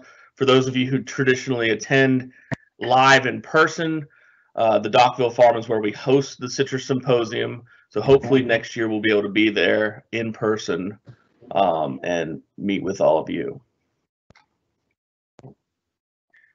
Okay, our next speaker is Jamie Rodriguez. Jamie's with the USDA Farm Service Agency County Executive Director for the New Orleans or for the Orleans area. And Jamie manages three USDA service centers in Edgard, Thibodaux, and Donaldsonville. Jamie has a bachelor's degree in animal sciences and a master's degree in extension education from LSU. Jamie, with that, uh, we're going to turn the reins over to you. Thank you so much for uh, joining. Thank you. Uh, good morning. Thank you for having me here today. Um, what I'm going to do, we have two major programs um, that are geared for towards citrus producers uh, that were written into the Farm Bill that we administer through the USDA Farm Service Agency. Both of these programs are classified as disaster programs to help protect you uh, against some losses that you could potentially experience. And the first one we're going to talk about is commonly referred to as the NAP program. Uh, this NAP program is called Non-Insured Crop Disaster Assistance Program. And what the intent of this program is, is it's a risk management tool designed to reduce financial losses that occur when natural disasters cause a loss of production and prevented planting of a non-insurable crop or agricultural commodity. Um, citrus and nursery plants do fall into this category. NAP provides coverage for non-insurable crops produced for food, fiber, or bioenergy conversion, grazed forage consumed by livestock, inventory value crops, including floriculture, ornamental nursery, Christmas trees, turf grass sod, industrial crops, seed crops, and aquaculture, which includes ornamental fish. And um, for this presentation, we're going to learn some basic information about our NAP program, and we're going to review some policy information that's relevant to the intent of our NAP program, who NAP is serving, the coverage levels that the program offers, eligible causes of loss, and application requests for NAP coverage and assistance. Our target audience here is uh, we offer NAP coverage to landowners, landlords, tenants, and sharecroppers who share in a risk of producing a crop or agriculture commodity, and they're entitled to the share of that crop or agricultural commodity available for marketing from the farm or would have shared had the agriculture crop commodity been produced um, coverage information, we NAP first provides a basic coverage, which is equivalent to the catastrophic risk protection policy that is administered by the risk management agency through traditional crop insurance. Um, we do have a traditional service fee for our NAP policies that's associated with the coverage. Our basic NAP coverage is equal to 50% of the yield or the inventory value at 55% of the average market price established by FSA. So, in order to get a payment here from this NAP program, you have to experience a loss due to a weather event or natural disaster that's in excess of 50% of your normal production. And that payment would be calculated at 55% of the market average price that is set by FSA, and we'll get into some of that a little later in the presentation. Um, we do offer additional levels of buy-up coverage Um, those require an additional premium payment besides the regular service fee. Buy-up is available except for crops intended for grazing from 50% all the way up to 65% of the approved yield. And um, that base that goes in 5% increments. So you can buy 50%, 55%, 60 or 65% coverage. If you select to participate in buy-up coverage, it will pay out at 100% of the average market price established by FSA. We do have this online tool from NAP that we offer online, and it allows you to determine whether your crops are eligible for federal crop insurance or our NAP program, and you can explore the best level of production for your operation. On this website, there's also a premium calculator that you could input the information in acres and the number of trees from your operation to help determine what your premium cost would be payment limitations for the NAP program. Um, what a payment limitation is, is if you experience a loss and qualify for a payment with our basic 50-55 coverage, you would be able be eligible to receive up to $125,000. With the buy-up coverage option, you're eligible to receive up to $300,000. And this is annually during a crop year. Um, the, the advantage of the buy-up coverage is in order to qualify, um, you can have a smaller loss and still receive a payment. To qualify for assistance under our NAP, uh, production losses have occurred as a result of an eligible cause of loss. Eligible causes of loss are included, but not limited to, damaging weather, drought, hail, excessive moisture, freeze, tornado, hurricane, and excessive wind. Adverse natural occurrence, which is flood, earthquake, and volcanic eruption, and a condition related to damaging weather or adverse natural currents, heat, insect infestation, plant disease, and volcanic smog, or any combination of the above. in order to participate in the NAP program, you have to apply for NAP coverage by the application closing date for your particular crop in your county. Applicants will be charged a non-refundable service fee, and NAP participants are required to follow the terms and conditions of the program to remain eligible for assistance. A certified report of your planted acreage a notice of loss and application for payment have to be timely filed by the deadlines that are established by Farm Service Agency. And then for our basic coverage, that payment limitation is 125,000 per crop year, which we know that increases with the buy-up coverage. Service fee for NAP coverage. Um, the lesser of $325 per crop or $825 per producer per county. So that if you if you have citrus orchards in one county parish, you the maximum you're going to pay is $825 per crop. Um, when we say per crop, that's sumas, navels, blood oranges, lemons, grapefruit, so just some examples of all separate crops. Um, if you are a multi-county producer in multiple parishes, 1950 per crop year is the maximum that you will have to pay for the NAP service fee. We do have some options for a service fee waiver for limited resource, socially disadvantaged, veteran, and beginning farmers. For our buy-up coverage, the premium is based on 5.25% of the coverage per crop, um, and it will not exceed $15,750 per NAP covered producer.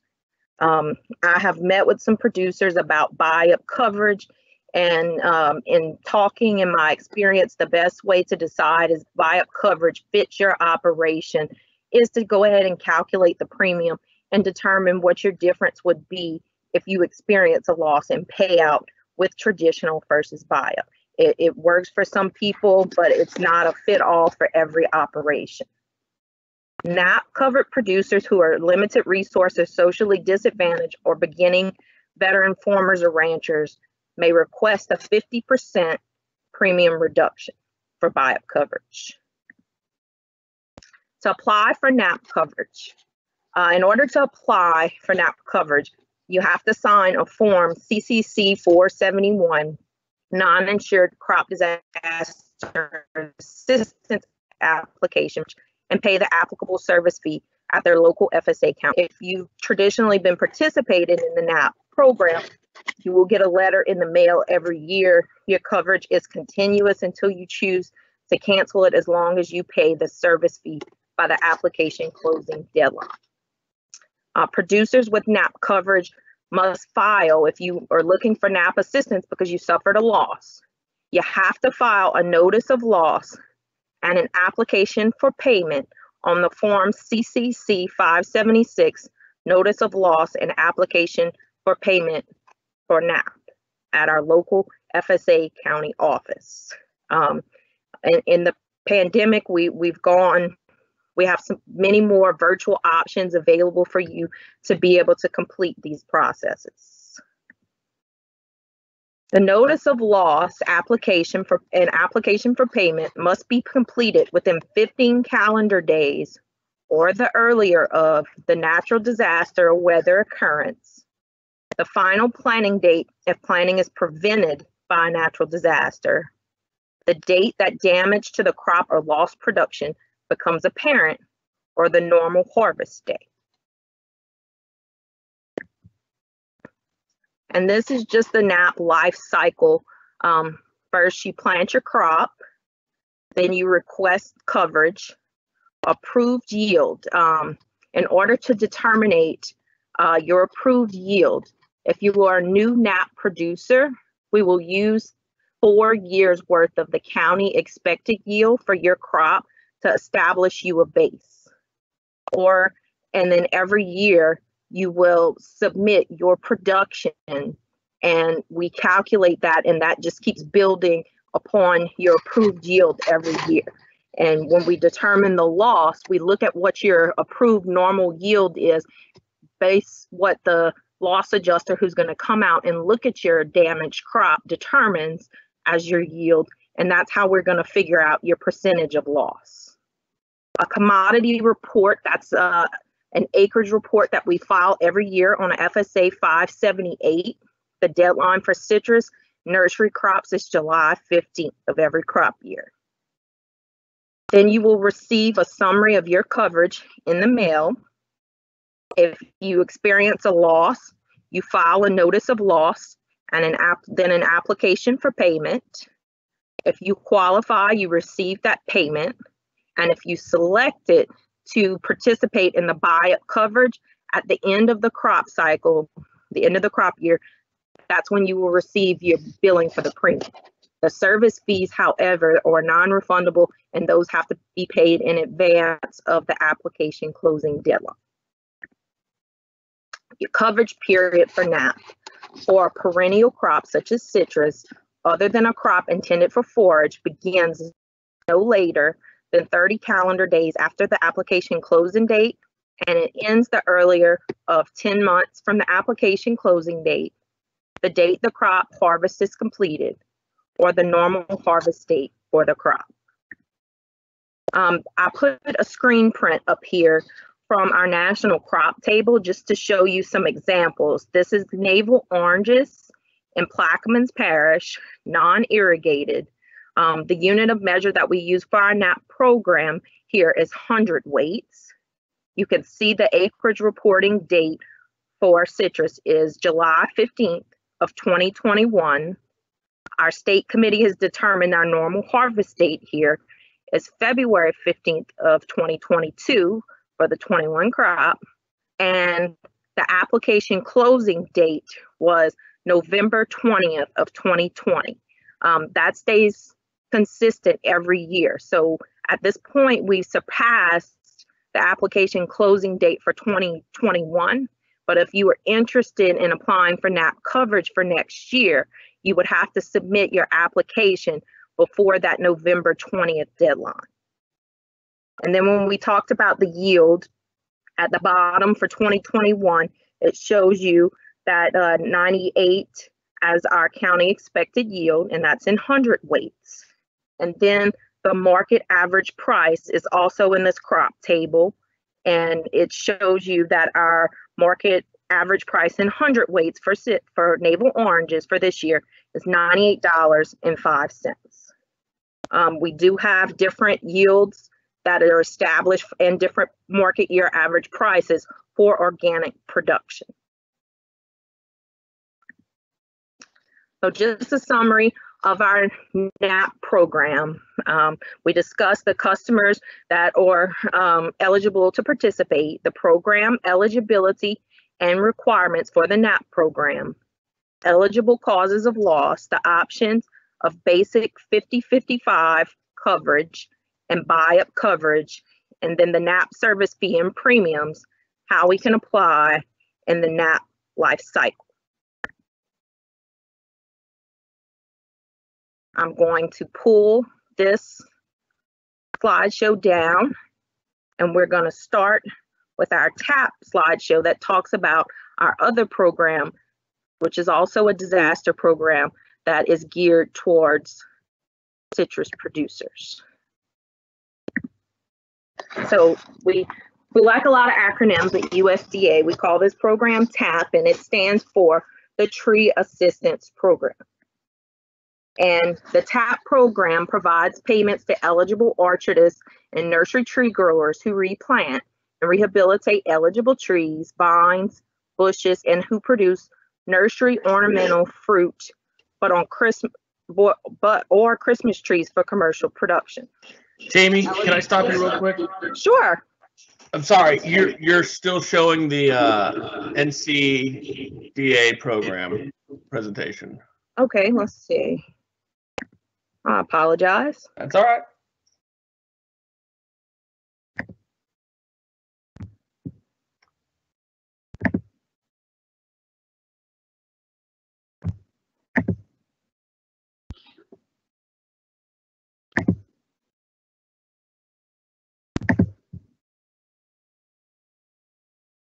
Okay, can we see the tap uh Yep.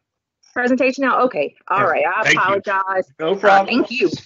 We'll start over with the, the tree assistance program.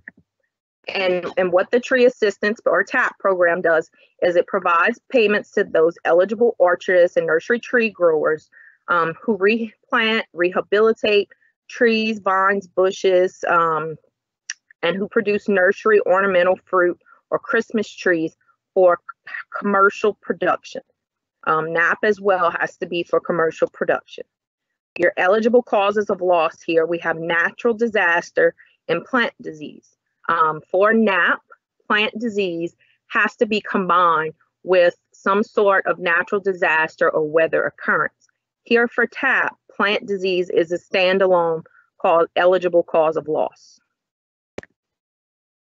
Um, there is a mortality requirement that you have to meet in order to qualify to receive a payment for TAP. Um, your loss has to be in excess of 20% uh, a mortality loss. And what that is, the TAP program uh, automatically at the national level says you have to have a 15% loss to qualify, plus whatever the state committee determines is the normal mortality. Our state committee has determined that at 5%. Um, mortality definition is dead above and below the ground, no longer commercially viable, and that is to be determined by a trained FSA loss adjuster.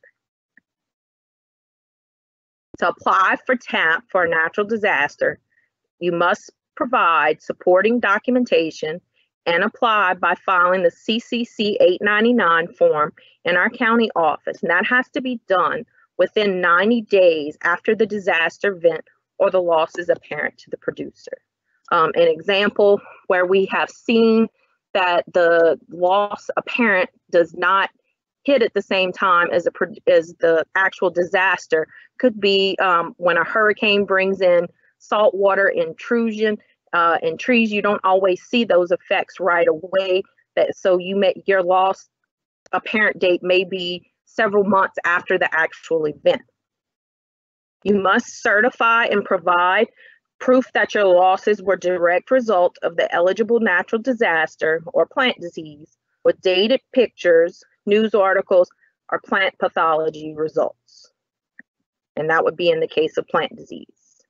Um, for the plant disease loss period, it begins when a producer first recognizes the disease in the stand and ends when an infected tree becomes either biologically dead or no longer commercially viable within the loss period established by the state committee and the deputy administrator for farm programs.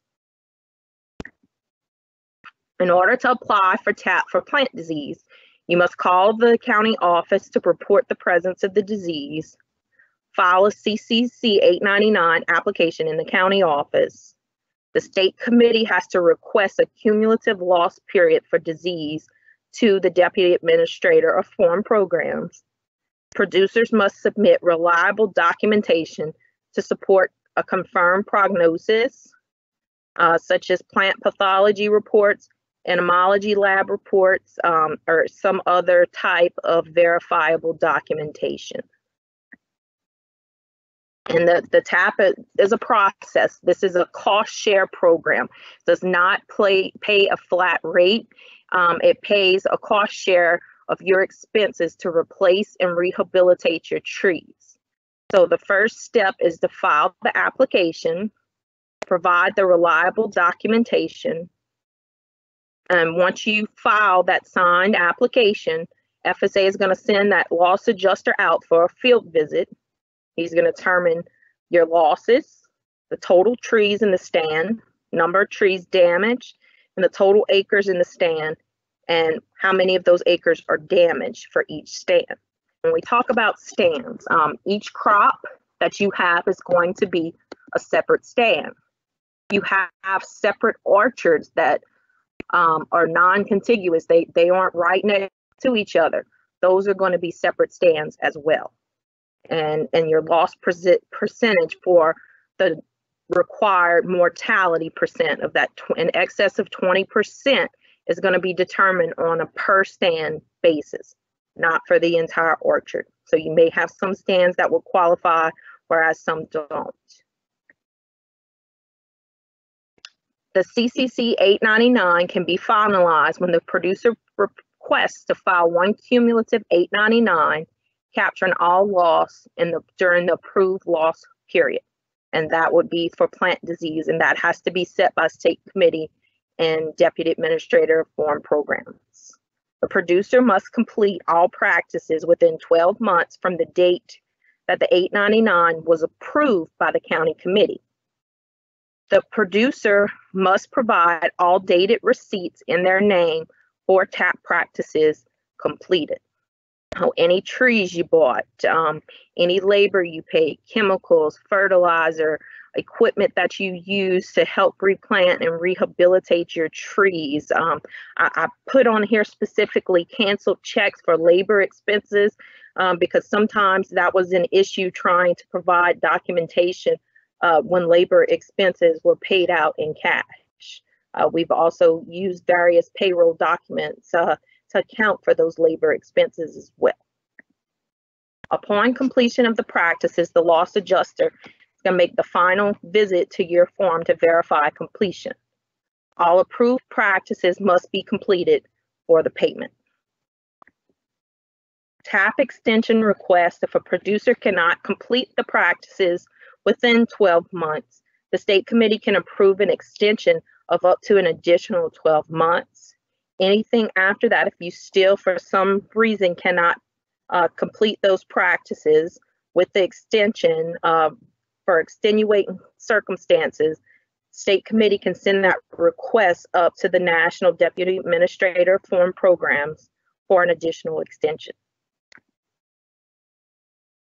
Um, eligibility requirements, um, you have to show that you are a commercial producer.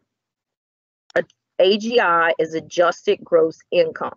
You have to be compliant with these provisions, which is $900,000 or less of your adjusted gross income for the applicable tax years.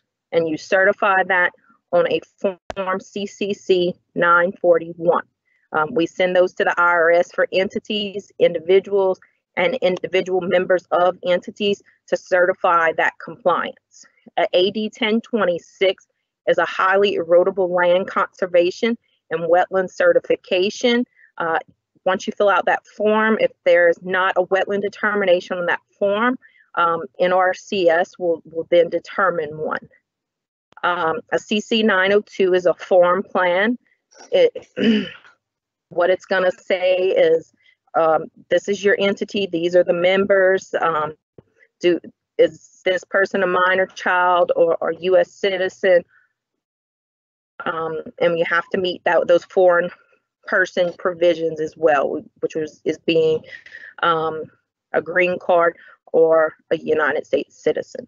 Timely filed acreage report every year is July 15th of the crop year. So for 2021, um, in order to be eligible for these programs, you want to contact our office to file your acreage report by July 15th. We're going to need the acres of your orchard. If a form is already established, if not, we're going to have to establish you a form in our form record system. And we're going to need the number and variety of trees that are in your orchard. Um, and then there are also some environmental compliance uh, that we have to meet those requirements as well. Eligible citrus orchard tap practices. Um, we discussed that this was a cost share. And, and for each practice, there's a maximum rate that's established by the Deputy Administrator of Form Programs for each practice. However, it does not exceed up to 65% for replacement and replanting costs, or 50% of rehabilitation, pruning, and site preparation costs of your expenses that you turn in at the end of your completion of those practices. So these are the maximum rates and the rates that we will not exceed. Um, so 75% is the payment rate for all of these practices for beginning and veteran formers. Our definition of beginning formers is if you have been forming for 10 years or less. Eligible citrus nursery tap practices, we have that same 75% payment rate for beginning veteran farmers. Nursery tree replacement, your maximum there is $5 a tree. However, you can only get paid for up to 65% of your expenses. So if your expenses don't meet $5 a tree, then you'll only get paid for 65% of what your actual expenses to replace those trees costs. Planting costs, maximum $2 per tree, six or 65% of your expenses. Nursery tree rehabilitation, up to $3 a tree or 50% of your expenses there. TAP payment limitation and eligibility. Um, currently, there is no payment limitation for the TAP program. Um, so depending upon what you qualify for based on your expenses and the maximum, um, you won't cap out at a limit like you would with the NAP program. Okay, and, and that concludes my presentation about our TAP and our NAP programs. Some additional uh, information that we have. This is the contact information for our county offices um, the NRCS, which is the Natural Resource Conservation Service, our sister agency. They also offer um, conservation planning for your operation to see how you can incorporate some of those conservation practices there to improve your operation. And we have Martin Fotno, who is our form loan officer that services our area. He has several form loan opportunities one of which is emergency form loans during times of disaster. He also um, does operating loans. You can get a form loan to purchase a form, and you can also go through the micro loan process, which is up to $50,000, and it's supposed to be a more streamlined, quicker process of getting access to funds to be able to assist you with your operations. And that's all I have today. Does anybody have any questions? Excellent. Excellent. Well, thank you, Jamie. Yes, if you have any questions, please post them in the Q and A, and we'll get them covered. We have one question um, right away, and that is if you have never applied for NAP or signed up, does the initial sign up have to be prior to the disaster, or can it be within 15 days or so? For example, the current freeze. Okay, that that's a really good good question. Um, uh, unfortunately, for the NAP program, if you've if you've never signed up for it before, for the 2021 crop year, the deadline to sign up for that NAP program was November 20th of 2020. So so we've exceeded the the deadline to be able to sign up for 2021 NAP. So if you're interested in that coverage in the future, please contact our office before November 20th of- this year, and we could go ahead and, and get you set up with a policy and, and a county expected yield. So that way you are covered in the event that we were to experience additional losses in 2022. Um, filing the, the 15 day of the um, disaster, that's to file a notice of loss once you've already have an application for coverage. It's, it, NAP is similar to an insurance policy. It's not, it's, it's just a, a loss protection, but you have to have the policy by the application closing deadline, which is, is the, the end of the year before the crop year that the disaster would occur. Thank you. Any other questions?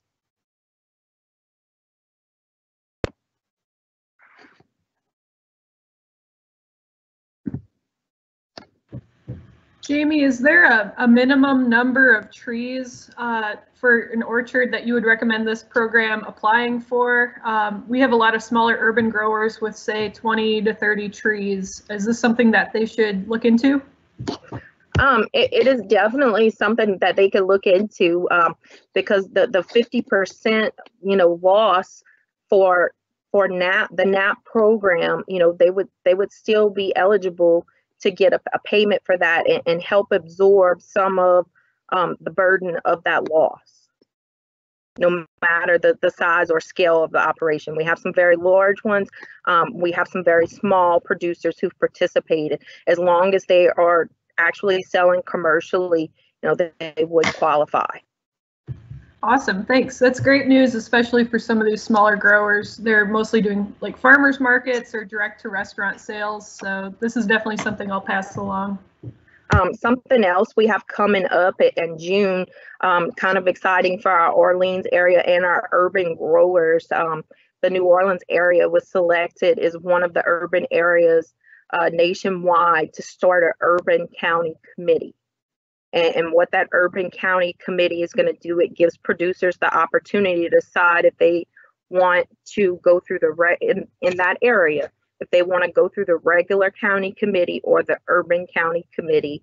Um, it, it's kind of we're going to select members, you know, who are urban producers. We have three areas for the New Orleans area that's established. It it will be um, an election process for that and we're supposed to do some community outreach as well, encourage um, agriculture. Some parts of it sounds like similar to an extension program and, and kind of help increase access to food for people in those urban areas. That's great. Good to hear. Okay, any other questions? Oh, um, I have another question from the chat board. Is an application needed for various crops? So if you were growing multiple crops, would you need to apply for each crop or is it all included in one? That is correct. You would have to apply for each crop separately. It's all going to be on the same form, but each crop is a different pay code and a different service fee. So if you apply only, um, and, and it's up to a producer to decide what's best for their operation. If you have majority satsumas and maybe just a few navel orange trees in your orchard, you may decide you only want to insure those satsumas. but if you suffer a loss, then only those satsumas that you have on your policy are going to be what is covered by the program.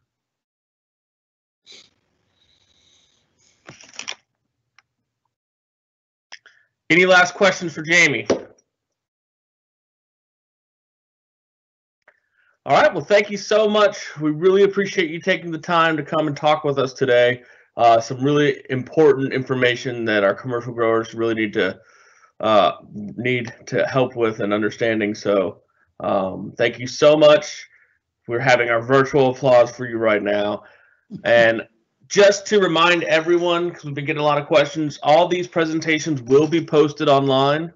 Um, we are recording this and they will be posted on the LSU Ag Center website, as well as uh, louisianacitrus.org and the LSU Ag Center Hammond Research Station website within the next week or two. Um, so that, thank you so much again, Jamie. Thank you. It was a pleasure. All righty. Okay, everyone. I hope you're back. Uh, we really appreciate you sticking with us. Um, we're going to watch a video on the Fuse facility and hear a little bit more about some specific research, container citrus production research going on uh, upcoming for this next year.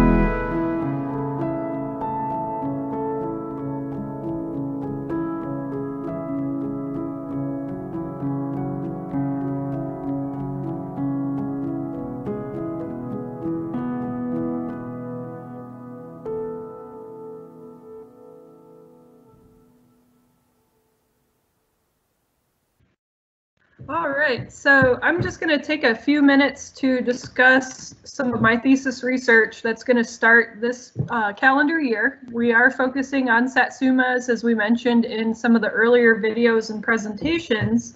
And this is going to be a containerized satsuma trial, but it's really going to set the stage for years of future research. Um, we hope to have some really good in, in outcomes of this uh, research project that are sort of going to guide what we investigate and really put our time towards in subsequent years. So some of our initial challenges and goals, uh, we were lucky to receive a specialty crop block grant through LDAF and the USDA. This has ensured that we have funding for this project for the next couple of years. And we have some initial um, things that we want to focus on through that specialty crop block grant. Um, first and foremost, we're going to establish a containerized citrus orchard, again, focusing on satsumas within the Fuse facility. We're going to produce a management guide and conduct field days for growers. So unfortunately, we can't do that this year. However, next year, 2022, I think a large part of the citrus symposium itself is going to take place in person within this facility. So we should have some real things to show you guys um, coming up next year. And I'm pretty excited about that. Uh, we're going to use utilize that Fuse facility for the containerized orchard um, with future research projects through the LSU Ag Center and the Meraux Foundation support. Um, so this is just where we're starting and really the sky is the limit because we have such a really good facility and we have some funding to throw at these questions for the Louisiana citrus industry. So just some real quick, some containerized citrus basics. Um, I know Chris Oswalt touched on some of the research taking place at the University of Florida, uh, the Lake Alfred Citrus Research Area, and they really did pioneer the US system of containerized citrus. Uh, here in the photo, you can see a grapefruit on the right-hand side. This is out of Florida where this is a dwarfed grapefruit tree and you see it's just loaded with fruit. And a lot of the initial research coming out of their CUPS facility, Citrus Under Protective Screening, is showing that for a fresh fruit market, these containerized systems can be profitable. They can produce a better tasting, better quality of fruit um, for that fresh fruit market versus a juice market. You know, they're really struggling with some of the same challenges we are as an industry with the citrus canker, citrus greening, and the Asian citrus psyllid. So we're hoping that the Fuse facility kind of gives us a leg up here in the state to investigate some ways of managing those issues uh, for our growers. So we will be planting our orchard in the next couple of weeks, which is really exciting. And we're going to use these number 10 air pruning smart pots.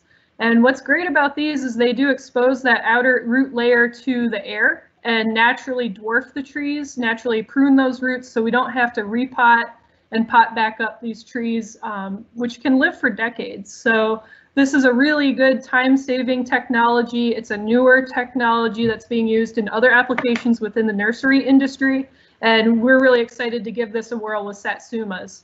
Uh, they will be planted into a soilless media that helps us. Um, we can design some different things there irrigation fertilizer applications will be done um, through fertigation and what we're worried about mostly in terms of pest control, disease control, you know, this is a protected facility, but that screen material does not exclude all mites or scale insects. So we will have to do some frequent scouting and hopefully develop some management practices for growers um, within the Fuse facility. So some things to look out for.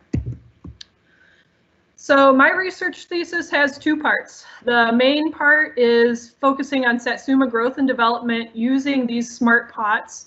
And within that grant, that specialty crop block grant, we did write in that we want to identify optimal planting density of this citrus cultivars um, for commercialized production. So Satsuma is grafted onto a dwarfing rootstock, trying to find how many trees we can cram into this space still with a good production level. Um, you know, that's not going to happen for two to three years easily, but sort of taking some measurements, um, studying how dense we can pack these, how they're growing, how they've developed.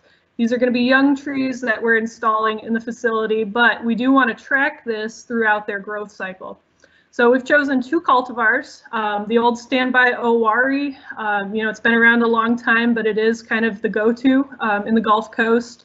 And then also Brown Select, that's a little bit more compact tree, as a lot of you know, a little bit earlier market.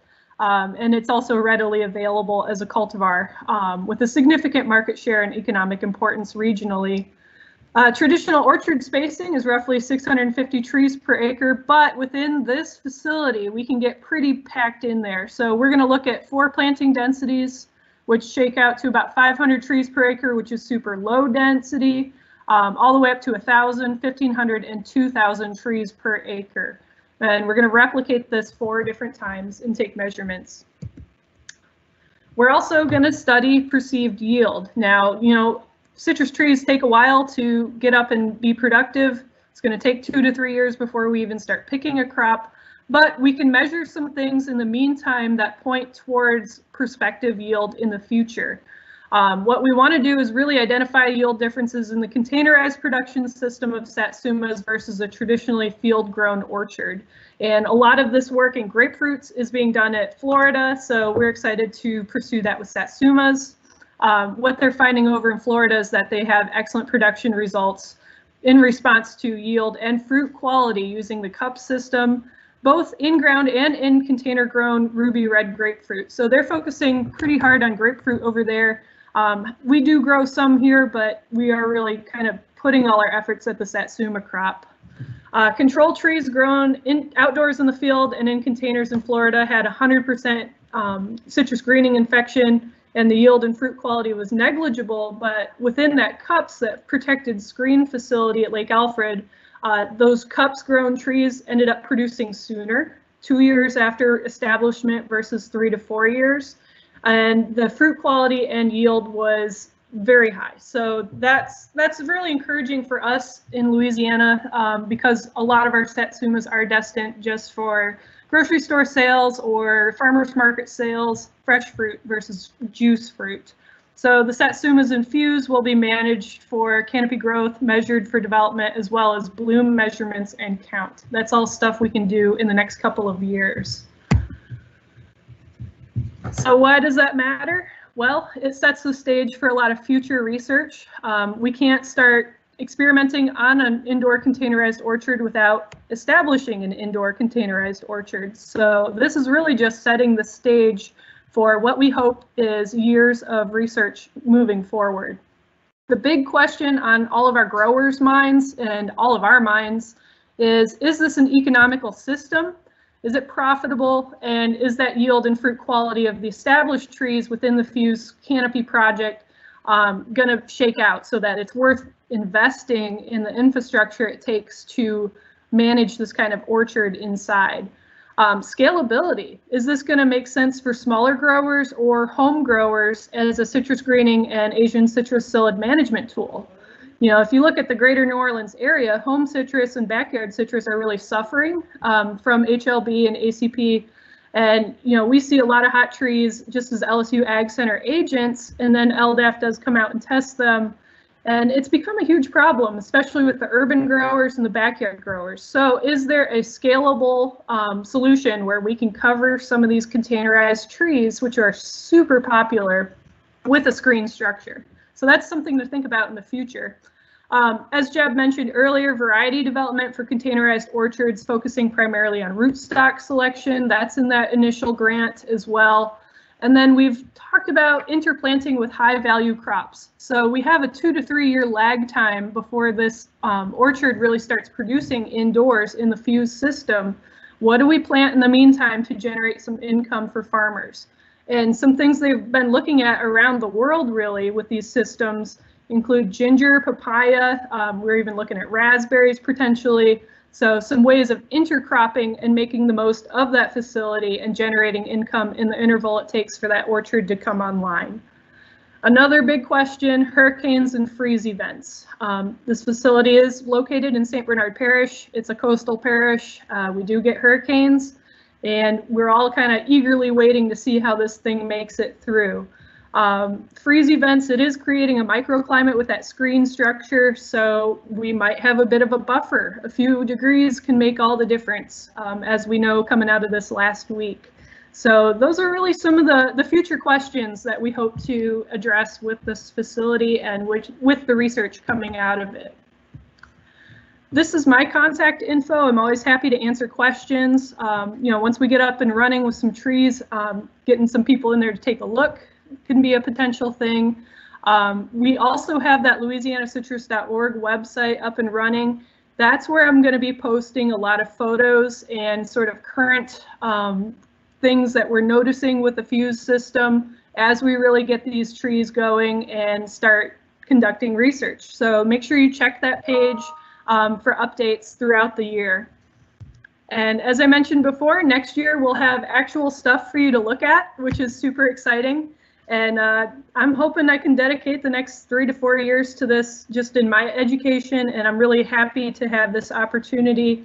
Um, big thanks to the Meraux Foundation for making what was a kind of a pie in the sky dream actually concrete and it's built. it's actually happening and it's been a long time coming. So with that, I'm happy to take any questions that you guys might have. Thank you, Anna.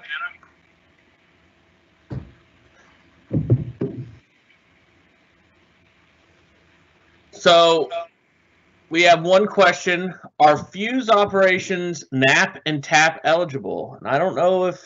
Ooh. Jamie is still on. I do not think she is, but that's a great question, and we will definitely contact the uh, USDA. I don't see why they wouldn't be, but Yeah, I, I don't see why they wouldn't be either. Um,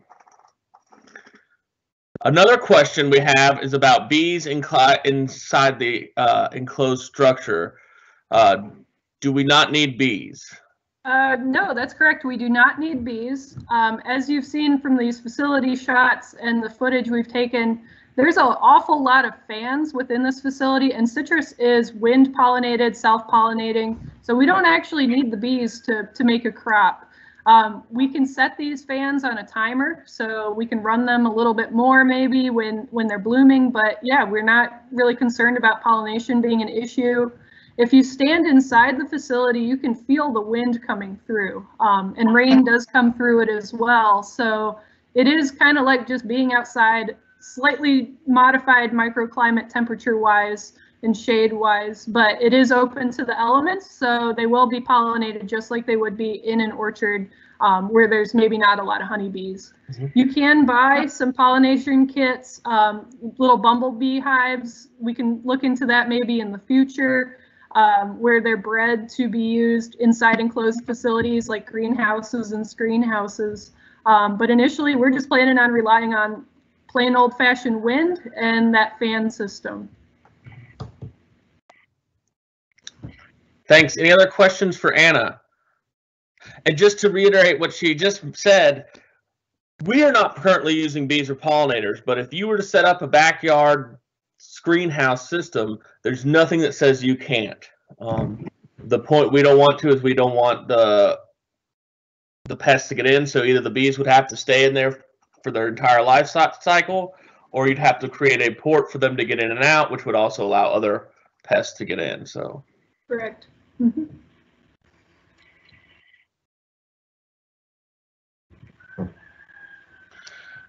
Uh, we have a question on what is the cost per acre, and we're I'm going to jump in on that one. We're still figuring that out. So we, there's a lot of ways you can do this. We have a very high tech facility. We were doing research, so we want to have a very robust facility. So we had a, a reasonably high cost per acre uh, to build a high end screen house, gutter connected screen house. But for just a screen, you can go as low as a post and cable connected structure and cover it with a screen like you would a shade house and make it very reasonably cheap per acre. It all depends on your facility, what you want, and what you want out of it. But we are we don't have hard numbers for you, uh, and that is one of the things we're going to be researching in the first year or so on actual production costs and trying to estimate yield back to get some information on return on investment.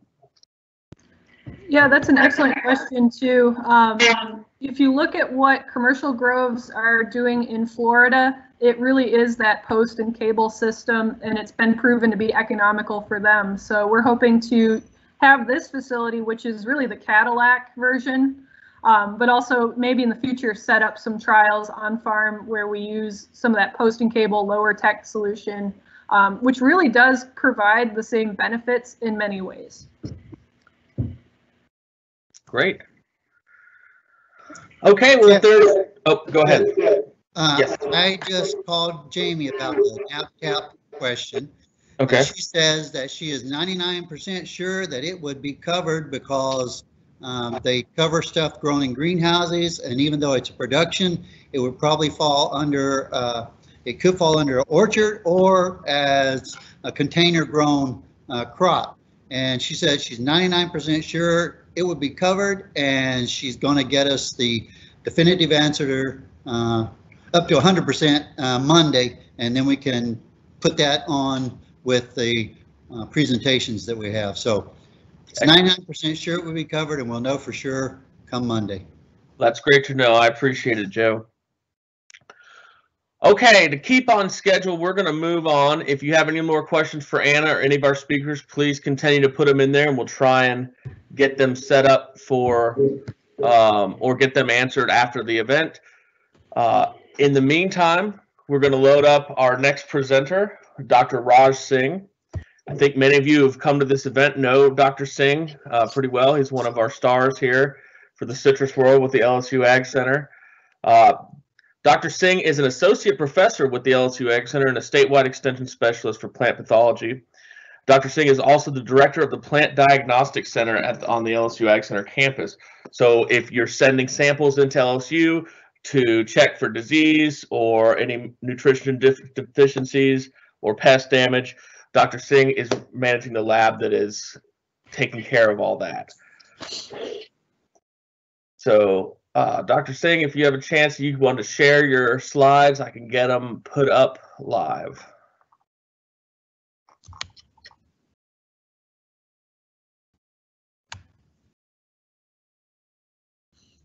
Can you see them? Yes, we can. Let me slide, put you in there. Um, sending in. Okay, I think we're good to go. All righty. Well, thank you for that nice introduction. um, uh, so good morning, everyone. Uh, this this uh, is the afternoon yet? No, I don't think so. Um, still good morning. Uh, so this morning I'm going to talk about the research that we did uh, for past couple of years on the susceptibility of Satsuma cultivars to citrus canker. Um, we, we, chose because Satsuma is one of the, I would say, out of all the citrus, Satsuma dominates our citrus production. I forgot, before I uh, start my presentation, I would like to acknowledge my co-presenter on this one. She's not here, but she did a lot of field work on, on this uh, uh, research. So uh, Monique D'Souza, she's a PhD in entomology. Um, she's from Brazil, um, but she's been doing work with me uh, for last three last couple of years. So uh, let's start. I want to give you a little background uh, on citrus production. So uh, we did this some research that found out that totaled 8 million tons during 2018-2019 growing season, and it was up by 30%, 31% compared to the 27 2017 to 2018 production. So despite of all these diseases like canker, greening, uh, scab, melanose, greasy spot, Asian citrus psyllid, and other, other viral diseases, still it was up by 31%. Uh, uh, out of all those diseases, citrus canker is one of the most devastating diseases worldwide. The reason I'm saying that when you compare citrus greening and citrus canker, citrus canker is very contagious, whereas greening you need a vector to transfer the disease from health, from infected to healthy trees and so that's the reason I'm calling citrus canker is one of the most devastating diseases. When it we when we are concerned about uh, production in Louisiana because our climate is very, very conducive for this disease to develop and spread at a much faster rate maybe compared to other other citrus growing areas. We are hot and humid and that's what this bacteria like to have as a microenvironment. uh, this is just a list. Uh, this was done by uh, researchers in Florida. Uh, so the the list is from most susceptible or highly susceptible citrus to the least susceptible citrus. And if you notice, Satsuma oranges is somewhere in the middle of that list. Um, but we have seen some previous studies where a citrus Satsuma was considered kind of like a resistant to some of the some of the canker strains that we have in the in, in worldwide. Uh, when we talk about citrus canker in Louisiana, this is not the first time that we have citrus canker. Um, citrus canker first came uh, to Louisiana in 1914. Uh, it was first uh, reported from Florida in 1910. And during those uh, three, four years, it moved towards these Gulf Coast. And so we had canker in Alabama, Mississippi, Louisiana, Texas. Uh, so during that time of time period, there was a lot of citrus trees that were uh, removed, and uh, then in the 1940s, uh, or I would say from 37, 36 to 37, uh, during that time, a big survey was done, and tens of thousands of trees were sampled or uh, scouted, and no canker was found in 1940s. So uh, this was the second time when we found citrus. Our um, Department USDA inspector found citrus uh, in June of 2013, and it was reported from New Orleans City Park on sweet orange. Now that sweet orange tree was only three years old, uh, but it was full of canker. So uh, we we kind of uh, had some uh, theories of how it got into the state uh, after almost um, a, century. Okay, um, so uh, when we looked at the tree, it didn't have any older cankers on the stems or on the petioles or even on the fruit that was dropping on on the ground. Okay, so we we had this theory that there might be some other um, canker diseased grapefruits or other highly susceptible Meyer lemons that are out there and they were the source of inoculum. Um, or it could be because of one of the hurricanes uh, that went over um, Louisiana that could have brought it into Louisiana because it can spread with the hurricane uh, hurricane events. Uh, Right now, there are only 10 parishes that are under quarantine, uh, but canker has been also confirmed from East Rouge Parish, Livingston, and St. Martin. Um, as uh, uh, Tina this morning mentioned about those quarantines. So uh, I believe it's going to change soon that East Rouge Parish and Livingston and St. Martin, they have some kind of quarantine limits, quarantine boundaries in those in those parishes. Uh, in terms of Satsuma, as I said earlier, uh, it is the most dominating citrus that we have here in Louisiana, about 63% of total citrus acreage. And these number can fluctuate on either side. Uh, these were done by LSU Ag uh, summary of 2018 numbers. Uh, the 2019 still not there because of the COVID-19 situation. Uh, but in 2018, um, 183,000 bushels of satsumas were produced with a total gross farm value of 6.2 million. If you look at the total value of citrus industry, that stands about 10 million, uh, including the nursery production, nursery stocks, and the production outside. So it is still a dominating uh, cultivar here in, in Louisiana.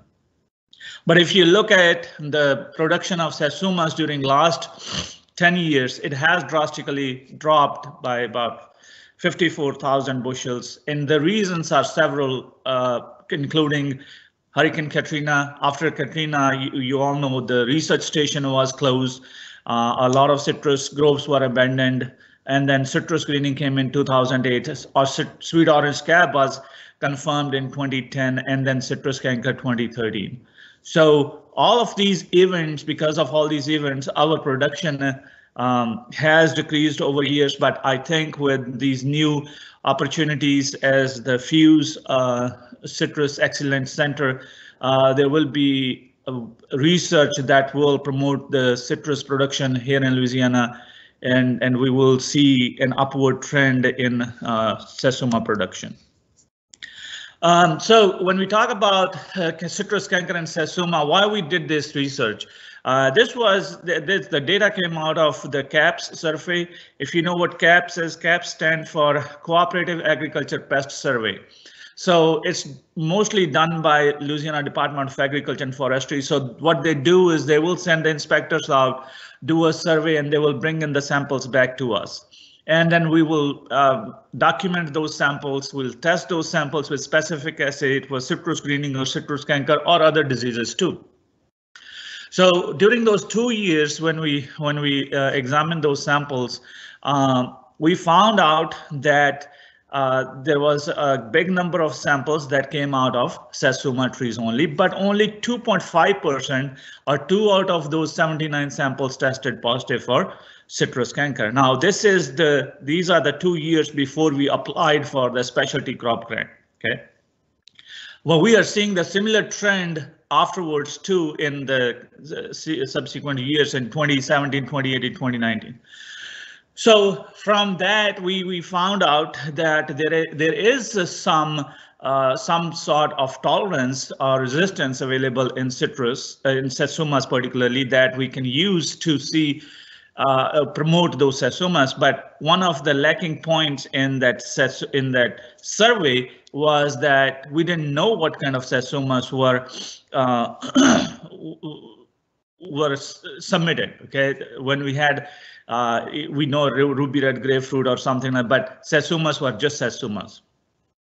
Uh, so that that was information lacking, and that was one of the objective to see which commercially available satsumas are susceptible, are resistant or susceptible to canker.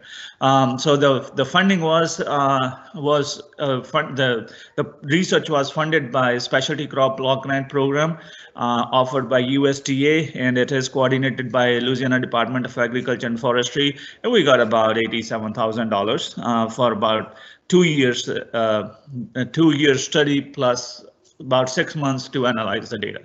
So the research was completed in May of last year. Okay, we started in October of 2017, but research was completed uh, last year in 2020.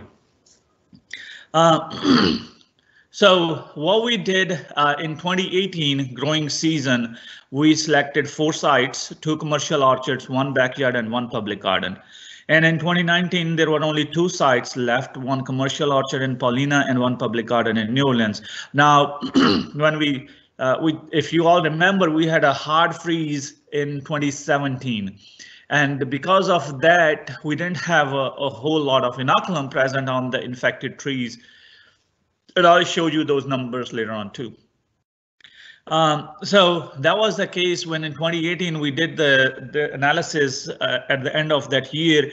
We found out that two uh, sites uh, they didn't have any disease because the, the disease trees didn't have enough canker on them. Okay, so those two two sites were uh, finally uh, finalized in 2019 we wanted we didn't want to spray the trees with canker bacterium because it is a quarantine pest. So we have to be uh, we can't just culture it out and start spraying some trees out there because there is a chance that you can uh, spread that inoculum. So we wanted to have a natural source of citrus canker inoculum that will cause the disease on the healthy trees uh, so we we had these grapefruit trees because it is highly susceptible to canker. And when you look at the diseased grapefruit trees, you can see the difference between how bad the disease on uh, on your uh, grapefruits compared to your either your navel orange or Washington Washingtonia uh, or your uh, or your Meyer lemon. So that's why we chose grapefruits trees. Now there were two situations we wanted to include uh, more sites, but then it also depends on how much you can do within a week, because if you have more sites, then you have to go to each site every other day. So we, we decided having two sites. And in these sites, we wanted to include two different situations. One is an open orchard and one is a, like a backyard situation. We didn't want to do it as at a backyard, so we chose a public garden where we had this uh, grapefruit trees, in fact, diseased grapefruit trees but they were fenced by like a, a brick fence, okay, a brick wall. So uh, this is just like a, a methods uh, slide. You don't have to worry too much about it, but we selected five satsumas. Uh, Brown Select was one of them, Louisiana Early, Miho, Owari, and St. Anne. Uh, we try to select these in a way that there are some early maturing and late maturing, the fruit size, uh, try to incorporate all different kind of satsumas in that. Uh, also, why we selected five, because they were mostly available out there uh, in, in the industry. Uh, at the same time, we also selected ruby red grapefruit. Remember that list I gave you, the ruby red grapefruit and the kumquat, the list uh, so we selected a ruby red grapefruit as a highly susceptible cultivar. Then we chose a Hamlin sweet orange, which is a medium uh, susceptible, and then a sweet kumquat that didn't have a disease in the previous literature. So and we got really good, interesting uh, data from this study. Um, so the the plant, the trees that we chose, they were kind of like when you will buy those trees and plant them. So we chose 18 months old potted trees. Uh, they were used for the experimental units. And uh, this is again some materials. We had five trees for each cultivar. we replicated that three times, uh, both years at both sites. So we had about 480 trees that we screened during those two years. And that's kind of a, a, a I would say a valid number when you're talking about a field research. So um, the applications were there, the uh, replication over time was there, and we did at two different sites. So we are very confident that the results that we received from this study are going to be very helpful when you choose a Satsuma for new plantings. Um, so how did we do this? I'll show you in a minute. So the picture on left top is that uh, New Orleans Public Garden. Uh, you can see the brick wall around that. So that's just one Satsuma and there were Satsumas all over the place. So that's just one, I would say one rep right there. One tree with about 24 trees under that under that one tree.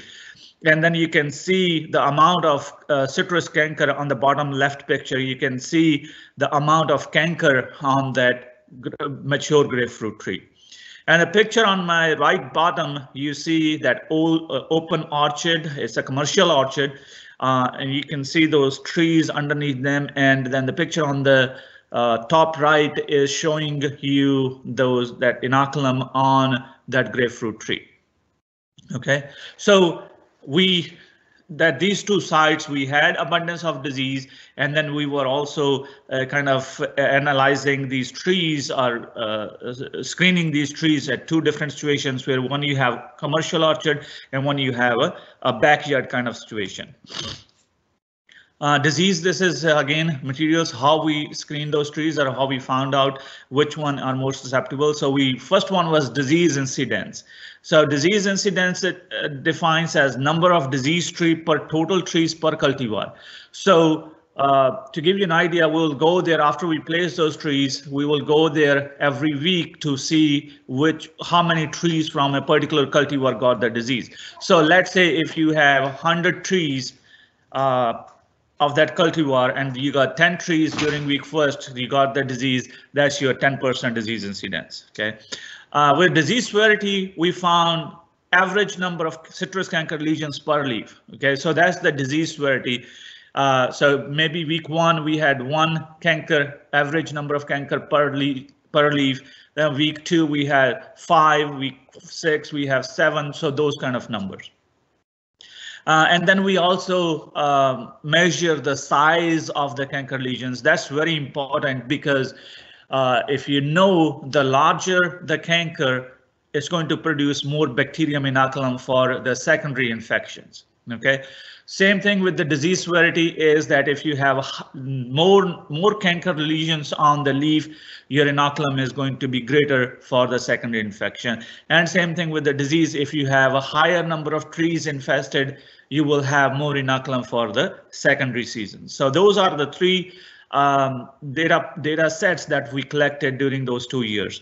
And this is just to give you an example of the disease severity example. So you can say we we on every tree, every single tree, we selected 10 leaves, okay, that started getting canker, and we have 15 screening trees per cultivar, and then we had eight cultivars, two sites, two screening, so for this disease severity, we did about close to about 5,000 total leaves. So that's again a very huge set of uh, data.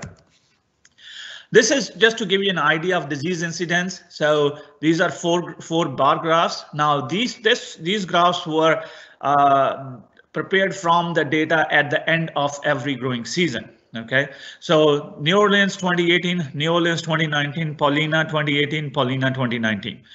So if you look here and I'll show you another table, uh, the first year 2018 we had less disease, okay. Um, in 2019 we had more disease, okay, in both sides.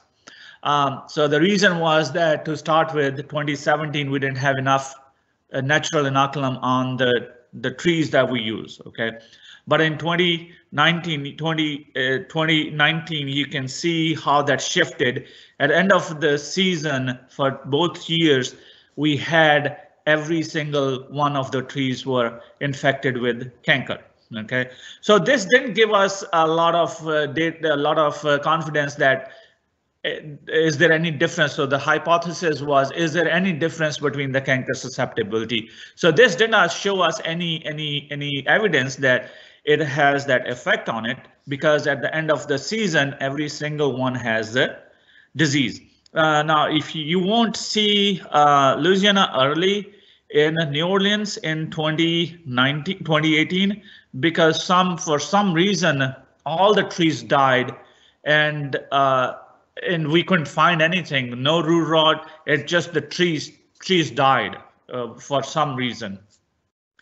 Um, when you look at the disease severity, so these are the graphs again, the same graphs, New Orleans 2018, 2019, Paulina 2018, Paulina 2019. So when you look at these graphs and then the lines, you see the, the legend on the top left here. Uh, and this legend is uh, consistent for all those four graphs. OK, so you will if you look at the ruby red, you will see that ruby red is the same kind of orange line everywhere. Um, now, I know this is a little bit confusing, but I just want to give you an idea how the disease progressed from day uh, from week one towards the end of the disease. Now, you will also notice that in 2018 at both sites, we visited those trees every two weeks. Remember, we had four sites to visit in 2018. OK, so that was a reason that you can't go to every site every week. OK, but we didn't include that data in here because there was not a, no no disease on those two sites but we had to go visit every single tree to find if there's disease or not. So in 2019 when we when we got down to two sites we decided why don't we do it every week so that we can have more uh, data to see how the disease is progressing every seven to 10 days. So you can see you have more data in 2019 but the the the uh, overall uh, data was kind of very consistent for for all uh, two years for both sides. So I uh, just want to make sure that we don't get confused on the data. So I'm showing you uh, the disease severity data, progress of the disease over time. Um, so if you look, we got about 17, 17 weeks data. Uh, so we started somewhere in July and we went up to like November, something like that.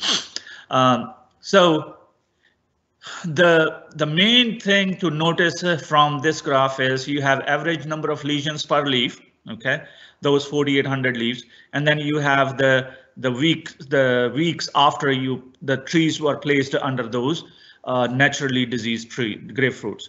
So the most important thing that you want to notice here is that you have the grapefruit up at the top that we know it is highly susceptible. And then you have the kumquat at the base, never got a disease at any of those sites. That was really interesting because in the previous studies, they have shown that those kumquats, they are highly tolerant.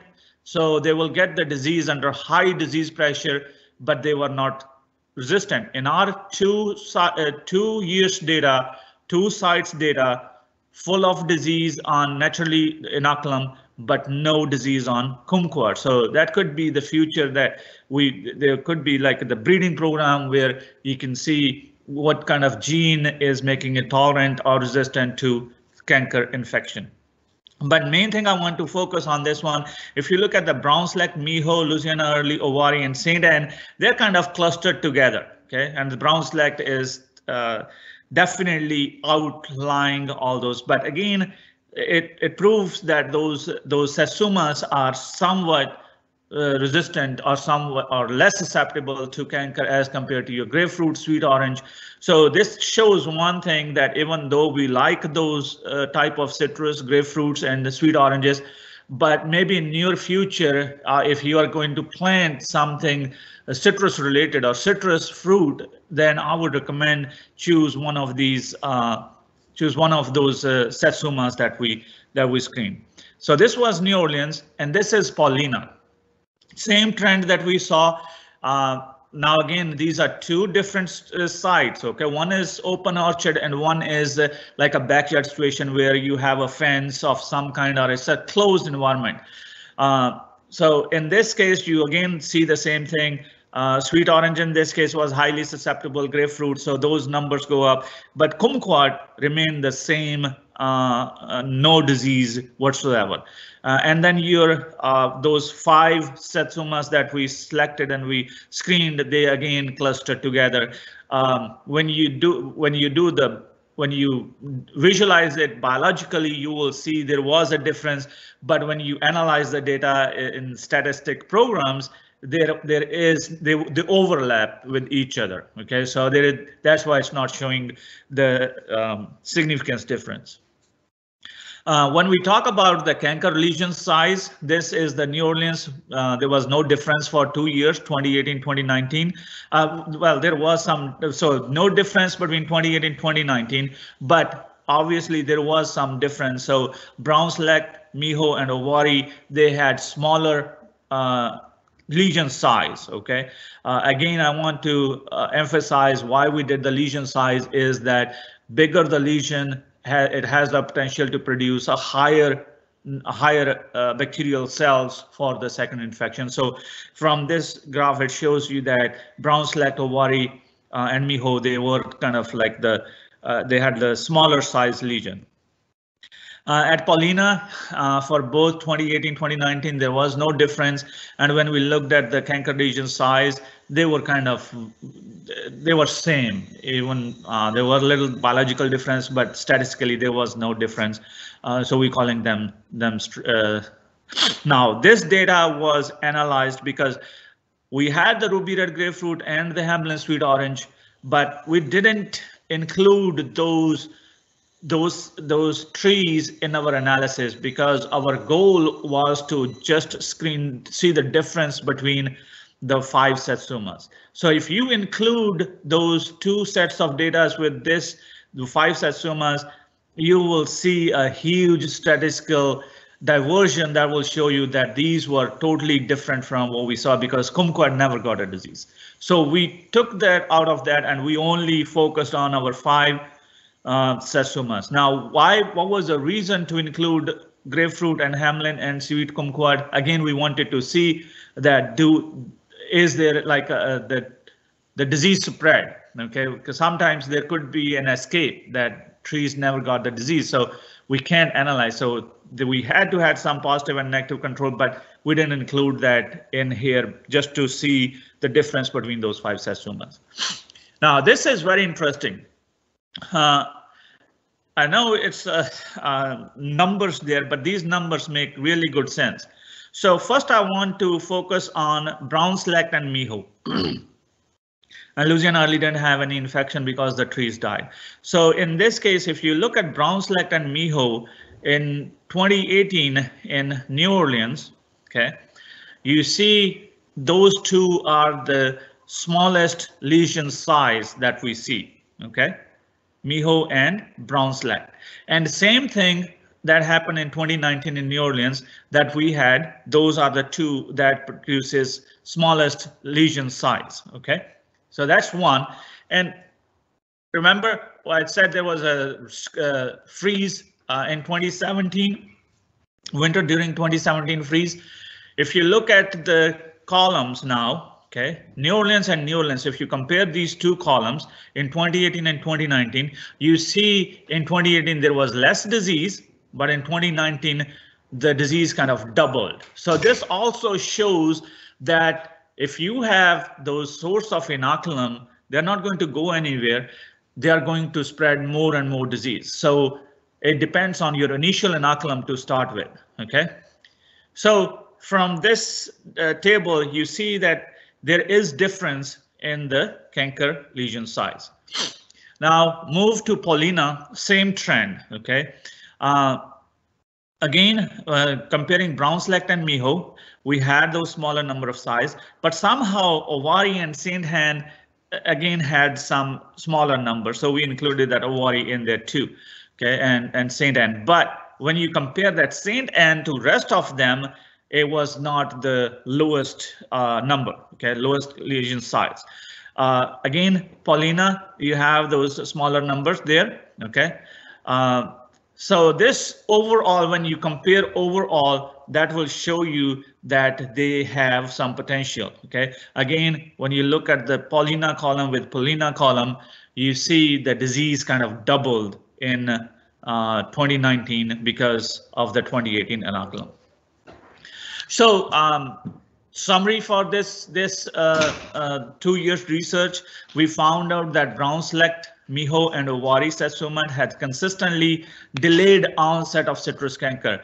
Because if you look at the disease epidemiology of the citrus canker, uh, everywhere we have seen this disease, it says that uh, it shows that the the the younger tissue or the when the leaf is still uh, developing, okay, it is highly susceptible compare compared to when the leaf is fully mature and older leaves.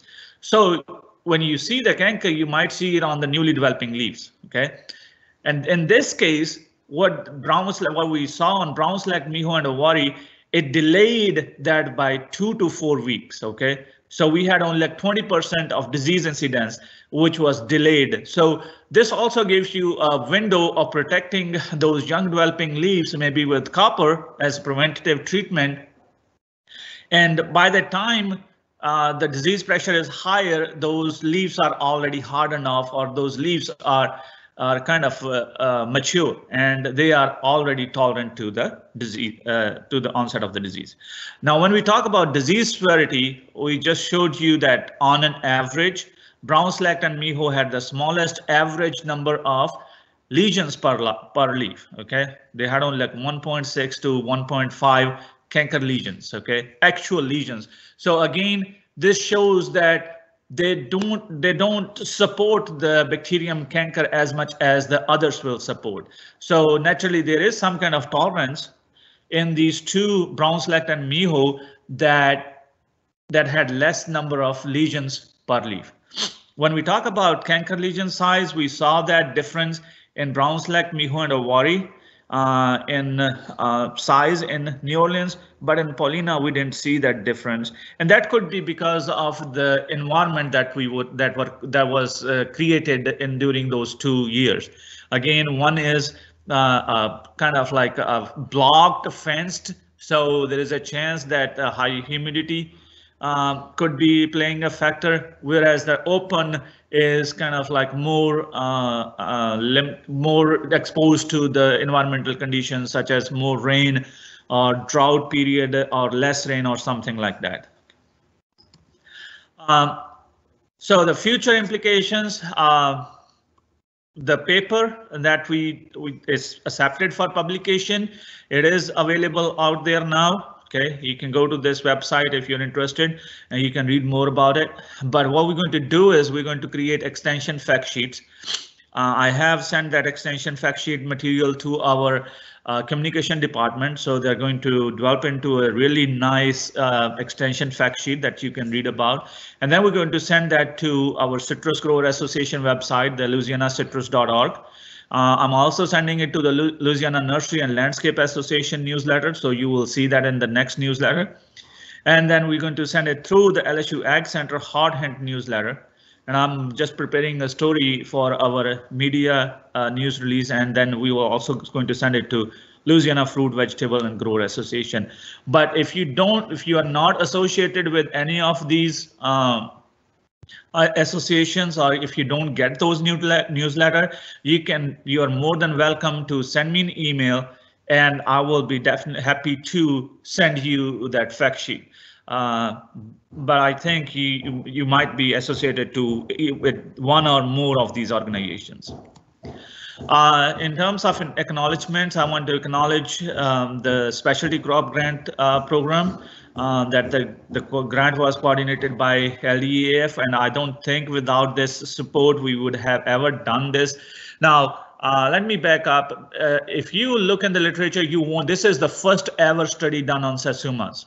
Okay, so this is very and this was done under field conditions. So these are the two big achievements that we have during this project. It's the first study to see the difference, and then it was done. It was not done in greenhouse or artificial conditions. This was done under field conditions here in Louisiana. So this study is uh, valid. The results results from this study are very valid, and they are uh, you can incorporate those results into your citrus production.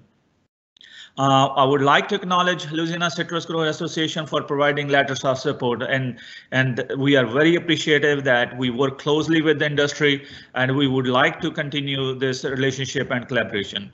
Uh, I would like to acknowledge uh, grower uh, Robert Butch and Renee and Paulina. They let us use their orchard to conduct this study.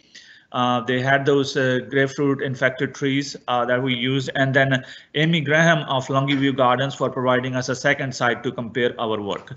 Uh, we are very appreciative of them. Uh, sometimes even we didn't go there, and they were able to able to water our trees.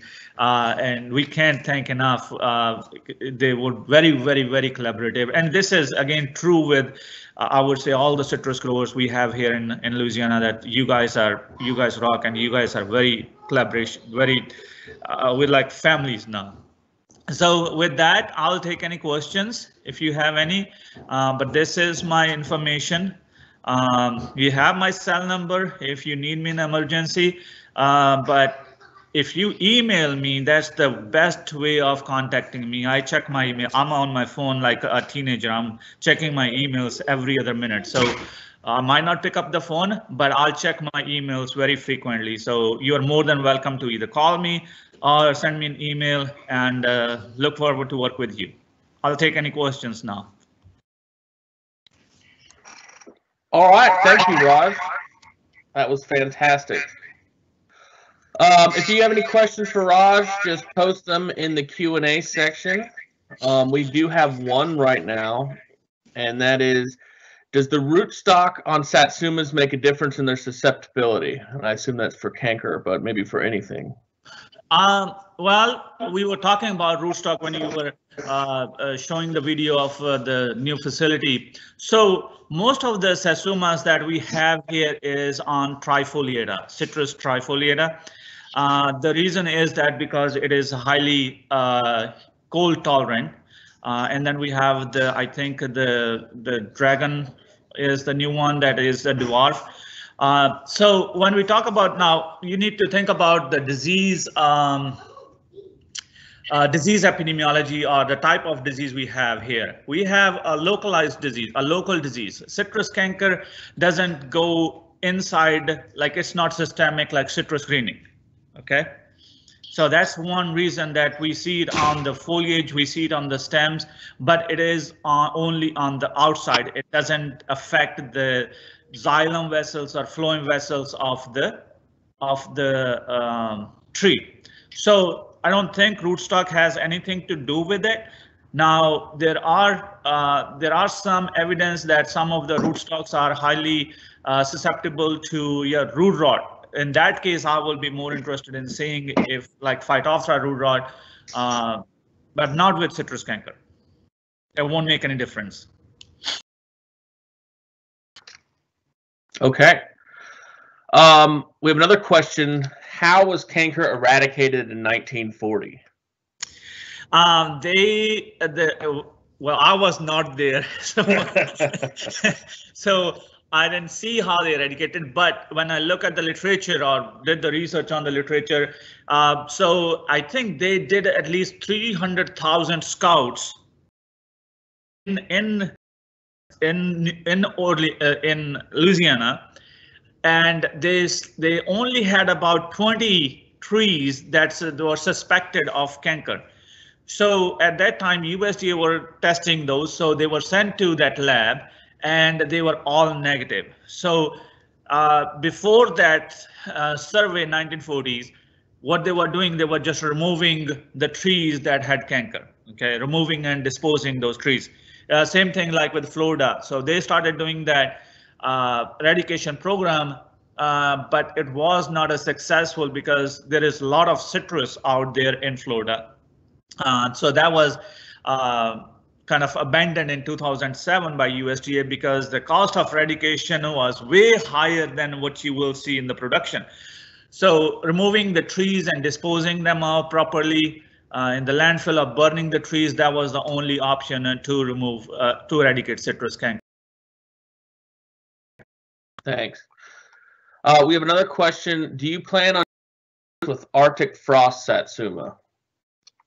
Is that something new? Uh, it's it's a newer variety. I do know that. I can speak to that. That people are talking about. Um, obviously, the name suggests it should be more cold tolerant. Yeah, I- we can definitely t- check it out. We have still have the sites. All we have to do is get some healthy plants and uh, put them out there and do some research. We can definitely do that if we, if anybody is interested in doing that. Excellent. So maybe something to talk about next year. Yeah, yeah, we definitely can do that. Are there any other questions for Dr. Singh?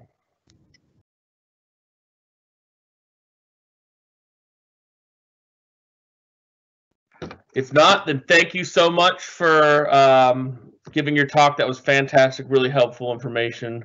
Uh, we always really appreciate hearing you uh, and hearing what you have to say. I'm Um, glad we did that. Thank you. Absolutely. All right. Thank you, Raj. So that is going to conclude our the main content for our 2021 LSU Ag Center Citrus Symposium. Before we close it down, we think we might have righted some of the technical difficulties, and we're going to try and get you the the drone video and have that played, um, so you could see that. If you have any questions, continue to ask them. Uh, anything that was from any of the presenters throughout the time here, um, and we'll see what we can get answered. Uh, with that, you have all of our contact information. Be sure to check the website, louisianacitrus.org. Check lsuagcenter.com for updates on citrus and all things agriculture in Louisiana. And I'd also like to say make sure you check the Hammond Research Station website because if anything that we do, we publish it there.